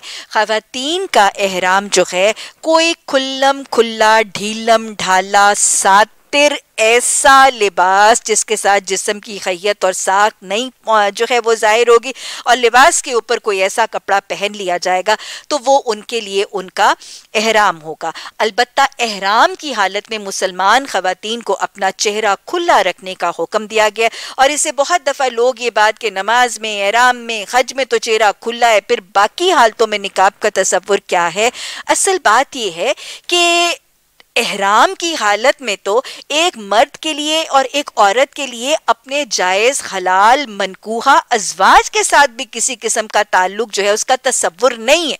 इतना जब्त नफ्त और इतना जेब्त कंट्रोल है और इर्द गिर्द भी जो वो माहौल है वो इतना पायस, इतना पाक है कि इस किस्म के फितने का इम्कान ही नहीं है। और फिर दूसरी बात ये कि हज का वो सारा जो प्रोसेस है उसमें धक कम पेल रश, उसमें वो चेहरे का निकाब शायद कभी कायम करना मुश्किल हो जाए, इसलिए लचक और सहूलत दी जा रही। एंड बिलीव यू मी जो असल बात है ना, असल में जो लोग हैं, ये एहराम में निकाब के ना होने को निकाब के हुक्म के खिलाफ इस्तेमाल कर लेते हैं। हालाँकि मैं इसको हुक्म के लिए इस्तेमाल करती हूँ। नॉर्मल हालत में अगर चेहरे का निकाब ना होता तो फिर हज में या एहराम में स्पेसिफिकली ये कहने की ज़रूरत ही ना होती कि चेहरा खुला रखो, क्योंकि नॉर्मली भी तो खुला है। खोलने का हुक्म तो उसी चीज़ को कहा जा रहा है ना और दिया जा रहा है जो नॉर्मली ढांपा हुआ है। तो गोया एहराम में चेहरे का खोलना और चेहरे को खुला रखने का हुक्म एक्चुअली सेकंड करता है सपोर्ट करता है। नॉर्मल और गैर एहराम की हालत में चेहरे के निकाब के हुक्म की तस्दीक करता है। अल्लाह हमें समझने और समझाने के तरीके भी सिखाए और अल्लाह हमें शरा सदर होकर अमल की तोफीक भी अता फरमाए। और एहराम के पहनने का तरीका अगर हम देखें तो गुसल करके हतुल इम्कान, पाकी और तहारत हासिल करने के बाद दो नफल पढ़े भी जा सकते हैं, लेकिन एहराम पहनने और हज के लिए नीयत बोल के करना ज़रूरी है। लब्बई कल हजा अगर सिर्फ़ हज है लब्बई कल उम्र था अगर सिर्फ़ उम्र है, और अगर दोनों हैं तो लब्बई कल हजा वल उम्र था। ये अल्फाज हदीस से साबित हैं। नमाज़ के लिए और रोज़े के लिए बोल कर नीयत करना हदीस से साबित नहीं है। लेकिन हज के लिए बोल कर नीयत करना हदीस और सुन्नत से साबित है। ये एहराम का पहनना और ये नीयत का करना, ये घर से ही हो सकता है, ये एयरपोर्ट पर भी हो सकता है और सवारी पर मिकात से पहले करना ज़रूरी है। मिकात क्या है? मिकात वो एक हद है हरम के गिर्द, जिसको एहराम की हालत में आजमीन उम्र और हज को क्रॉस करना लाजिम है मनासिक हज के तौर पर। ये मीकात का तयन बुखारी की सही हदीस और और सही अदीस के हवाले से भी पाँच पॉइंट्स अराउंड हरम मदीना से आने वालों के लिए जुल्हलैफ़ा, शाम से आने वालों के लिए जुफ़ा, यहाँ से हम जाते हैं साउथ से तो वो Yalamlam. Five points around Mecca जो है वो पॉइंट कर दिए गए हैं। और हदीस में और इन फाइव पॉइंट्स को जब हम ज्वाइन करते हैं तो एक ओवल सा एक बेजवी सी हद मक्का के गिर्द बन जाती है। इस ओवल आउटलाइन और इन पाँच पॉइंट्स को मीकात कहा गया है और आजमीन उम्र और हज को नीयत करने और एहराम पहनने के बाद इसको क्रॉस करना ज़रूरी है, वरना हज और उम्र नहीं है। इस मीकात को क्रॉस करने के बाद आजमीन हज और आजमीन उम्र, लब्बैक अल्लाहुम्मा लब्बैक ला शरीक लक लब्बैक, इन्नल हम्दा वन निअमता लक वल मुल्क, ला शरीक लक। ये लब्बैक कहते कहते तलबिया पुकारते पुकारते मर्द ऊँची आवाज़ में औरतें दिल में पुकारते पुकारते मक्का पहुँचते हैं। मक्का पहुँचने पर मसनून दुआएँ, दाखिले के तरीके, आप अपनी रिहाइश गाह पे जाके आराम करके कुछ खा के पी के फ्रेश अप होकर भी जाए तो शायद अपनी इबादत में ज़्यादा कैफ और सरूर और ज़्यादा ताकत और तोानाई पाएँगे और इसमें कोई कबाखत नहीं है। बहरहाल, हरम में दाखिल होते वक्त जब पहली निगाह हरम पर पड़ती है तो दुआ कबूल होती है। हाँ दिल की धड़कन भी ऐसे जैसे रुक जाती है। पहली दुआ कबूल होती है, रब्बना आतिना फिद दुनिया हसनतम व फिल आखिरत हसना वकिना जाबन नार की दुआ मांग लीजिएगा। और ये भी दुआ मांग लीजिएगा कि अल्लाह मेरे इस क़याम में जो जायज़ ख्वाहिशात मेरे हक में बेहतर है, उनको कबूल कर लेना एक जामयत की दुआ होगी। और फिर उसके बाद पहले उम्र और उम्र के बाद हज। उम्र का तरीका मुख्तसरन अगर आप दोहरा लीजिए तो सबसे पहले वो सात चक्कर और तवाफ़। तवाफ़ का आगाज़ जो है वो हजर असवद या हजर असवद के साथ वो जो वाइट रेड लाइन जो हरम के सहन और मुताफ में लगाई गई है, जहाँ जो है पोजीशन मिले अपने हालात के मुताबिक, वहाँ से उसका आगाज़ होगा। हजर असवद का इस्तेलाम है, या तो बिस्मिल्लाह अकबर कह के उसको उसको बोसा दिया जाएगा, या उसको छू के हाथ को बोसा दिया जाएगा, या हाथ से या छड़ी वगैरह से इशारा करके बिस्मिल्लाह अकबर इस्तेलाम के साथ हजर असवद से ये तवाफ़ का आगाज़ होगा। चक्कर सात हैं और एंटी क्लॉकवाइज हैं। कायनात की सारी सूरज, चाँद, सितारे जो हरकत करते हैं, उनकी रोटेशन और रेवोल्यूशन जो है, वो भी एंटी क्लॉकवाइज है। तो मुसलमान एंटी क्लॉकवाइज हरम के गिर्द जो है, वो रोटेट करता है और घूमता है और चक्कर लगाता है। चक्कर के जो पहला थ्री फोर्थ हिस्सा है, तीन बटा चार हिस्सा जो है चक्कर का उसमें पहला, दूसरा, तीसरा, चौथा कलमा, कुरानी और मसनून दुआएँ जो हैं वो पढ़ी जाती हैं, इस्तगफार, तौबा किया जाता है। और फिर जो आखिरी चक्कर है, आखिरी चौथा हिस्सा चक्कर का है, उसमें नबी सल्लल्लाहु अलैहि वसल्लम से ये जो कुरान की दुआ है, रब्बना आतिना फिद दुनिया हसनतम व फिल आखिरत हसना, वकीना अजाबन्नार। आखिरी चौथाई हिस्से चक्कर के में ये दुआ। सात चक्कर मुकम्मल होने के बाद, वत्तखजू में मकाम इब्राहिम। इब्राहिम मुसल्ला, मकाम इब्राहिम पर दो, चार खलके फुलके नवाफिल जितनी इस्तात है, वो अदा किए जाते हैं, फिर चाहे जमजम।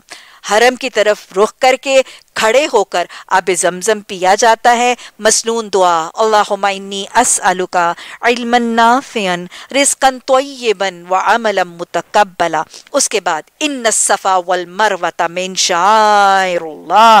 सफ़ा और मरवा के सात चक्कर। सफ़ा टू मरवा वन और फिर Marwa to Safa second. It is not from Safa to Marwa back to Safa एक नहीं है। सात चक्कर दोनों पहाड़ियों के दरमियान, हाजरा, साबरा, शाकरा की रुदात को ताज़ा करना है, सबर और शुक्र के रस्ते पर चलने का तरीका इस रस्ते पे चल के सीखना है। सात चक्कर लगेंगे, हलक और कसर होगा, बाल मुंडवा भी सकते हैं, कुतरवा भी सकते हैं। खातन अपनी उंगली का एक पूर या बालों की एक लट लेके उसको उंगली के गिर्द घुमाकर सिर्फ़ एक लट को काटना है और सिर्फ़ इतना काटना है, बाकी सारे बालों को भी नहीं काटना और इससे ज़्यादा भी नहीं काटना। खुद भी काट सकती हैं, कोई महरम भी काट सकता है, कोई दूसरी खातून भी काट सकती है। बाल के काटने के बाद अब उम्र के सारे मनासिक पूरे हैं। गसल किया जाएगा, एहराम उतारा जाएगा और एहराम की पाबंदियाँ खत्म। इनशाला एहराम की पाबंदियाँ भी पढ़ते हैं। फिर उसके बाद मैं हज तमत्तो का तरीका चूँकि बता रही हूँ, किरान में तो एहराम नहीं उतरेगा, यही जारी रहेगा और एहराम की पाबंदियाँ जारी रहेंगी, लेकिन हज तमत्तो में एहराम उतर जाएगा, अपनी इबादत जारी रहेंगी, लेकिन फिर आठ जिल हज यौमुत तरवीहा। हाजी अपनी रिहाइश गाह से? अब मिकात को क्रॉस करने की ज़रूरत नहीं है, अपनी रिहाइश गाह से ही? जैसे मैंने आपको एहराम बताया गुसल पाकी, तहारत, नवाफिल, दुआ, नीयत लब्बाइकल हज्जा, नीयत करके अपनी रिहाइश का और अपने लोकल मक्का के रेजिडेंस से ही वो अपना एहराम पहनेगा। तलबिया पुकारते हुए मिन्ना के मैदान में जवाल से पहले पहुँचना है। जोहर, असर, मगरब, इशा और अगले दिन की फजर की नमाज़ मैदान मिना में अदा होगी। ज़िक्र होगी, तस्बीहात होगी, दुआएँ होंगी, बख्शिश मांगेंगे। दुआ इबादत और ज़िक्र ही का तो वक्त है। अगला दिन यौमुल, योम उर्फा, नौ जिलहज का दिन है। फजर की नमाज़ मिना में अदा करने के बाद फिर सब आजमीन हज तलबिया पुकारते हुए, कोई पैदल, कोई सवारी, किसी में ज़्यादा अजर नहीं, अपनी हालत और अपनी इस्तात के मुताबिक होगा, सवारी की सहूलत के मुताबिक होगा। तलबिया पुकारते हुए मैदान अरफात में जमा होंगे, ये योम अरफा है। मस्जिद निमरा में जगह मिल गई अलहमदुल्ला ना मिली तो खुले मैदान अरफात में आसमान के नीचे। लगातार ज़िक्र है, दुआएँ हैं, हाजते हैं, बख्शिशें, फिर उसके बाद खुतबा। हज का खुतबा, एक अजान, दो अकामतों के साथ जुहर और फिर जुहर के बाद असर। दो दो रकत करके जमा बैन सलातैन की शक्ल में अदा होगी और फिर असर के बाद, वकूफ अराफात जो खड़ा हो सकता है, वो खड़ा होकर, जो बैठ सकता है, वो बैठकर, किबला रू होकर असर की नमाज़ की अदायगी के बाद हाथ उठा के, झोलियाँ फैला के, गिड़गिड़ा के रो रो के दुआएँ करनी है। बख्शिश का वक्त है कबूलियत दुआ का वक्त है। सबसे ज़्यादा तीसरा कलमा सुबह अल्लाह अल्लाह अकबर, पढ़ने की ताकीद है। यहीं पे वकूफ अरफात में मगरिब की अजान पुकार दी जाएगी। अजान और नमाज़ का वक्त होगा। अजान का जवाब देंगे। बाद की मसनून दुआएँ पढ़ेंगे। लेकिन नमाज़ नहीं पढ़ेंगे। क्यों नहीं पढ़ेंगे? क्योंकि मोहम्मद सल्लल्लाहु अलैहि वसल्लम ने नहीं पढ़ी थी। इत्तबाई सुन्नत का दरस देके सारे के सारे आजमीन हज लब्बैक पुकारते हुए अब मुजदलफा मशर हराम की तरफ़ रवाना है। कोई सवारी पर है, कोई पैदल पर अपने अपने हालात और अपनी अपनी सहूलतों पर मशर हराम में आने पर सबसे पहले जमा बैनुसलातैन, पहले मगरब, फिर इशा अदा की जाएँगी। जमा करके कसर की हालत में फिर वो कंकरियाँ जमा की जाएँगी रमी के लिए और फिर खुले आसमान के नीचे। अगला दिन बड़ा मुशक्कत वाला है। मेरा दिल, मेरा रब बड़ा मेहरबान है। सो जाओ, आज फ्रेश अप हो जाओ, आज सुबह की भी मुशक्कतें उठा के आयो, कल की भी इससे भारी मुशक्कतें, आज सो जाओ। खुले आसमान के नीचे, कंकरियों के ऊपर, उस ज़मीन के ऊपर, ऐसी नींद आती है कि शायद अपनी मेट्रेसेस पे भी नहीं आती। ये अल्लाह का करम है। फजर की नमाज़ भी मिना के मुजल्फा के मैदान में अदा होगी। हाँ कुछ खातन कुछ ज़यीफ नबी सल्लल्लाहु अलैहि वसल्लम ने हज़रत सौदा बड़ी उम्र की थी, जिसम भारी भरकम था। आपने रात को ही उनको मिना में मुंतकिल कर दिया था। कुछ ऐसे माजूरों के लिए ये मुमकिन तो है, लेकिन बाकी लोगों के लिए फजर की नमाज़ जो है, वो मुजल्फा के मैदान में और फिर इसके बाद फिर रवान की है। ये तो सफ़र है सफ़र है, वो सफ़र अदम की तैयारी है। एक हालत से दूसरी दूसरी से तीसरे पर जाना है। आज तैयारी कर लो। लो आज सीख लो। यहाँ से अब रवानगी है। जवाल से पहले मिना के मैदान में पहुँचना है। अभी तक तलबिया जबानों पर जारी है। पैदल सवारी अपनी हालत के मुताबिक है। रमी की जाएगी। सबसे पहले जवाल से पहले मिना पहुंचकर, ये कौन सा दिन है? ये अब दस जिलहज है। क्योंकि वो ऊंटों की कुर्बानी करते थे, उसको नहर कहा जाता है, इसको यौम नहर कहा जाता है।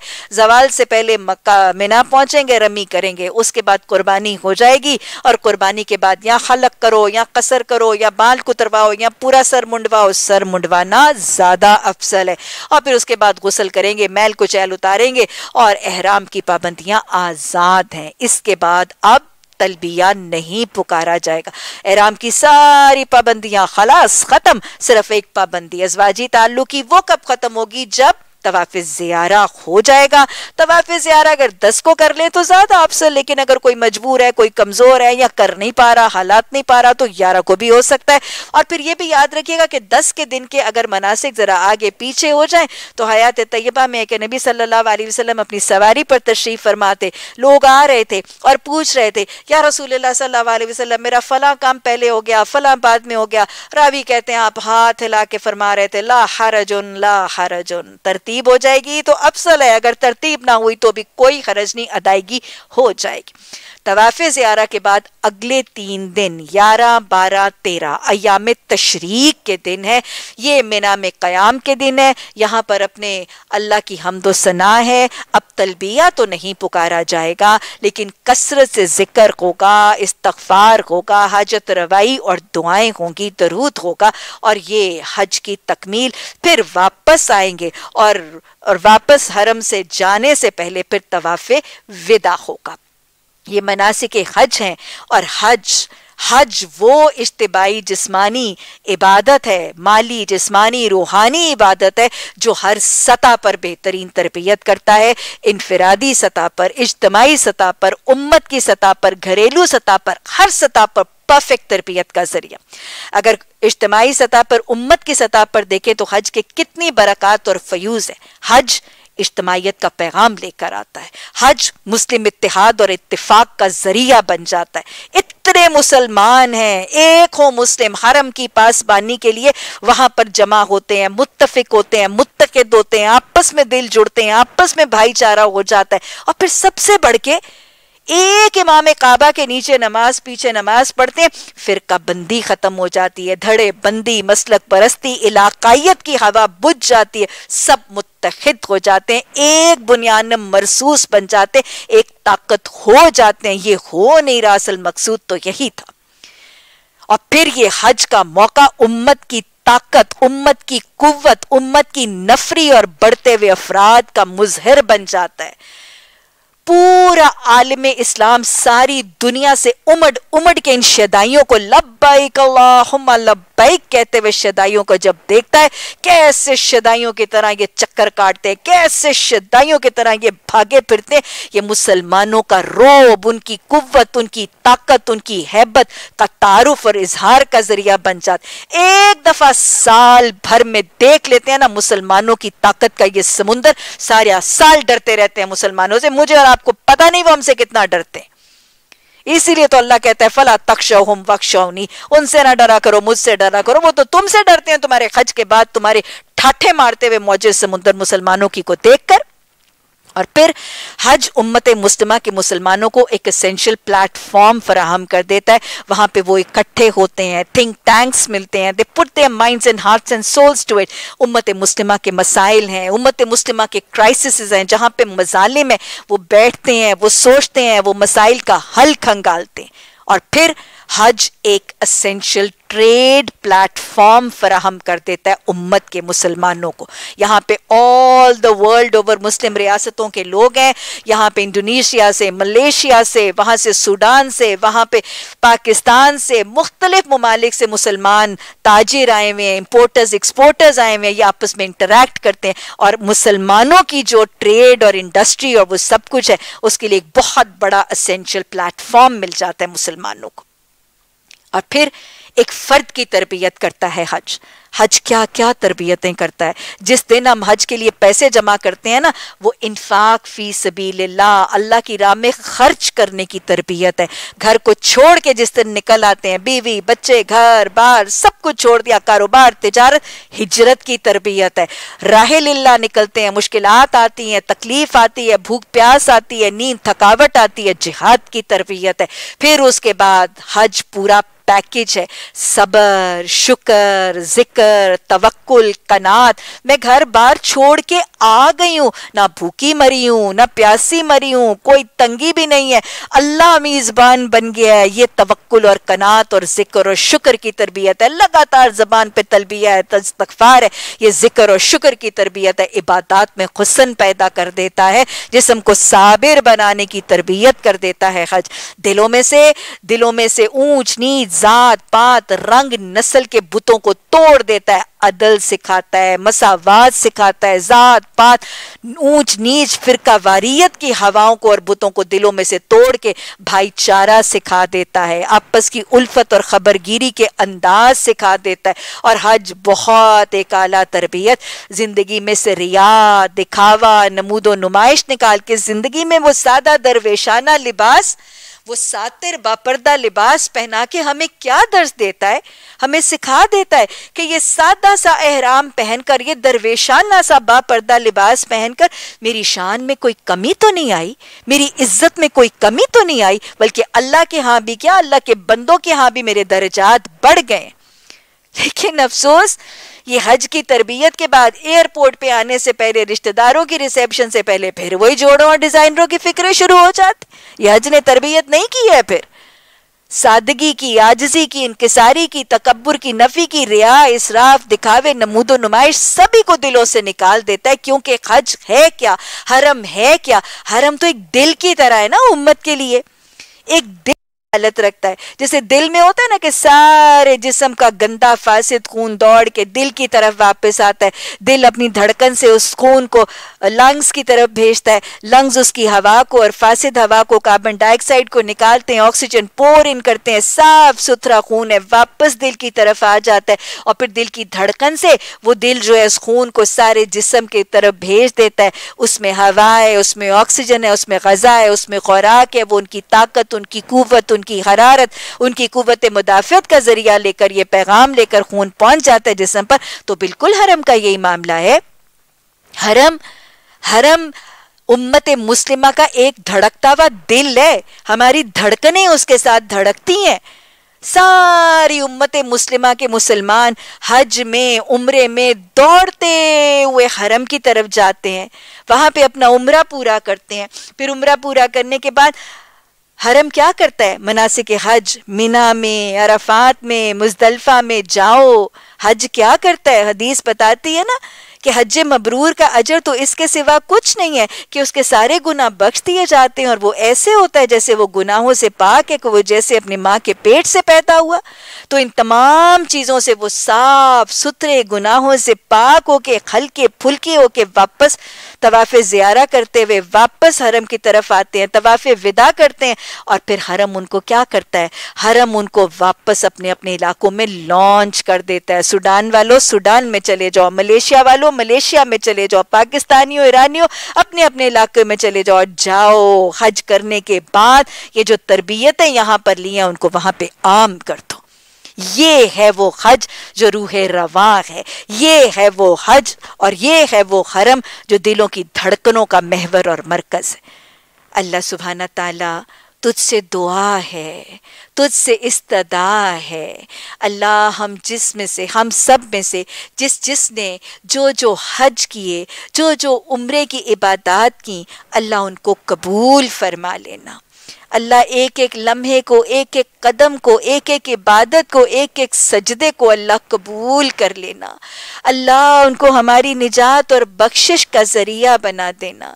अल्लाह जो हज और उम्र हमने किए, अल्लाह उनको हमारी तरबियत का ज़रिया, तजकिया का ज़रिया बन के अल्लाह हमें उस पर कायम रहने की तोफ़ी कता फरमाना। अल्लाह मेरी जो बहनें, मेरी जो बेटियाँ, तेरे घर की मेहमान नवाजी से महरूम है। अल्लाह उनको अपने घर की मेहमान नवाजी अता फरमा, उनको हाजिरी के परवाने अता फरमा। अल्लाह सुबहाना ताला, आज की नशिस्त में हमने जो पढ़ा, जो पढ़ाया, जो सुना, जो सुनाया, इसको कबूल फरमा ले। अल्लाह इसको हमारे ईमान में इजाफे और अमल की असलाह का ज़रिया बना दे। अल्लाह सरात मुस्तकीम की रुकावटों को दूर कर दे। अल्लाह हमें बेहतरीन काफ़िलों में शामिल कर दे। अल्लाह हमारे घर वालों को हमारा इस दीन के काम में मुआविन बना दे। अल्लाह समेना व अतवाना कहने वाला बना दे। रब्बी आइनी अला ज़िक्र का व शुक्र का व हसन इबादतिक। अल्लाह बीमारों को शिफाए आजिला कामिला अता फरमा दे। अल्लाह मेरी जिन जिन बहनों ने, साथियों ने अपनी औलादों के लिए जो जो दुआएँ कही अल्लाह सब की दुआएँ उनकी औलादों के हक में कबूल फरमा। आज मेरी बहुत सी बहनों ने अपनी बेटियों और अपने बेटों के रिश्तों के लिए कहा है। अल्लाह सबको नेक, सवाले, दीनदार जोड़ अता फरमा। अल्लाह नेकोकार के माथे लगाना। अल्लाह कुरान और हदीस के अहकाम के मुताबिक अपने बच्चों की शादियों और ब्याहों की रसूमात को तय करने वालियाँ बनाना। या अल्लाह, हमारे घरों को सुकून और मोहब्बत और अमन का गहवारा बना। अल्लाह रिज़ के हलाल आसानी सहूलत आबरू से अता फरमा। अल्लाह सुबहाना ताला जो मांगा है वो भी अता फरमा। जो मांगने से महरूम रहे, हमारे हक में अम्बिया सालहीन की दुआएँ कबूल फरमा। हमारे भी गुनाहों को बख्श दे, हमारे फौज शुदगान को भी बख्श दे। कुछ बहनों ने अपने वालिद की दुआ के लिए कहा, कुछ ने अपने बीमारों की दुआ के लिए कहा, कुछ ने अपने बच्चों की हदायत के लिए कहा, कुछ ने बेनमाजियों की नमाज़ की तौफीक मांगी, कुछ ने गुमराहों के लिए हदायत मांगी। अल्लाह कुछ ने दिल की नरमी मांगी, कुछ ने अल्लाह से मोहब्बत मांगी। अल्लाह सबकी मुरादें पूरी फरमा दे सबकी जो जायज़ ख्वाहिशात उनके हक़ में है कबूल फरमा ले। अल्लाहुम्मा हासिबना हिसाब यसीरा अल्लाहुम्मा अजिरना मिनन्नार रब्बिबनी ली इंदका बैतन फिल जन्ना रब्बना तकब्बल मिन्ना इन्नका अंतस समीउल अलीम व तुब अलैना इन्नका अंतत तव्वाबुर रहीम रब्बना ला तुज़े क़लूबना बाद इस हदैतना वहब लना मिन लदुनका रहमा इन्नका अंतल वहाब सुबहानकल्लाहुम्मा व बिहम्दिका नशहदु अन ला इलाहा इल्ला अंता नस्तगफिरुका व नतूबु अलैक सुबहान रब्बिका रब्बिल इज़्ज़ति अम्मा यसिफून व सलामुन अलल मुरसलीन वल्हम्दुलिल्लाहि रब्बिल आलमीन आमीन सुम आमीन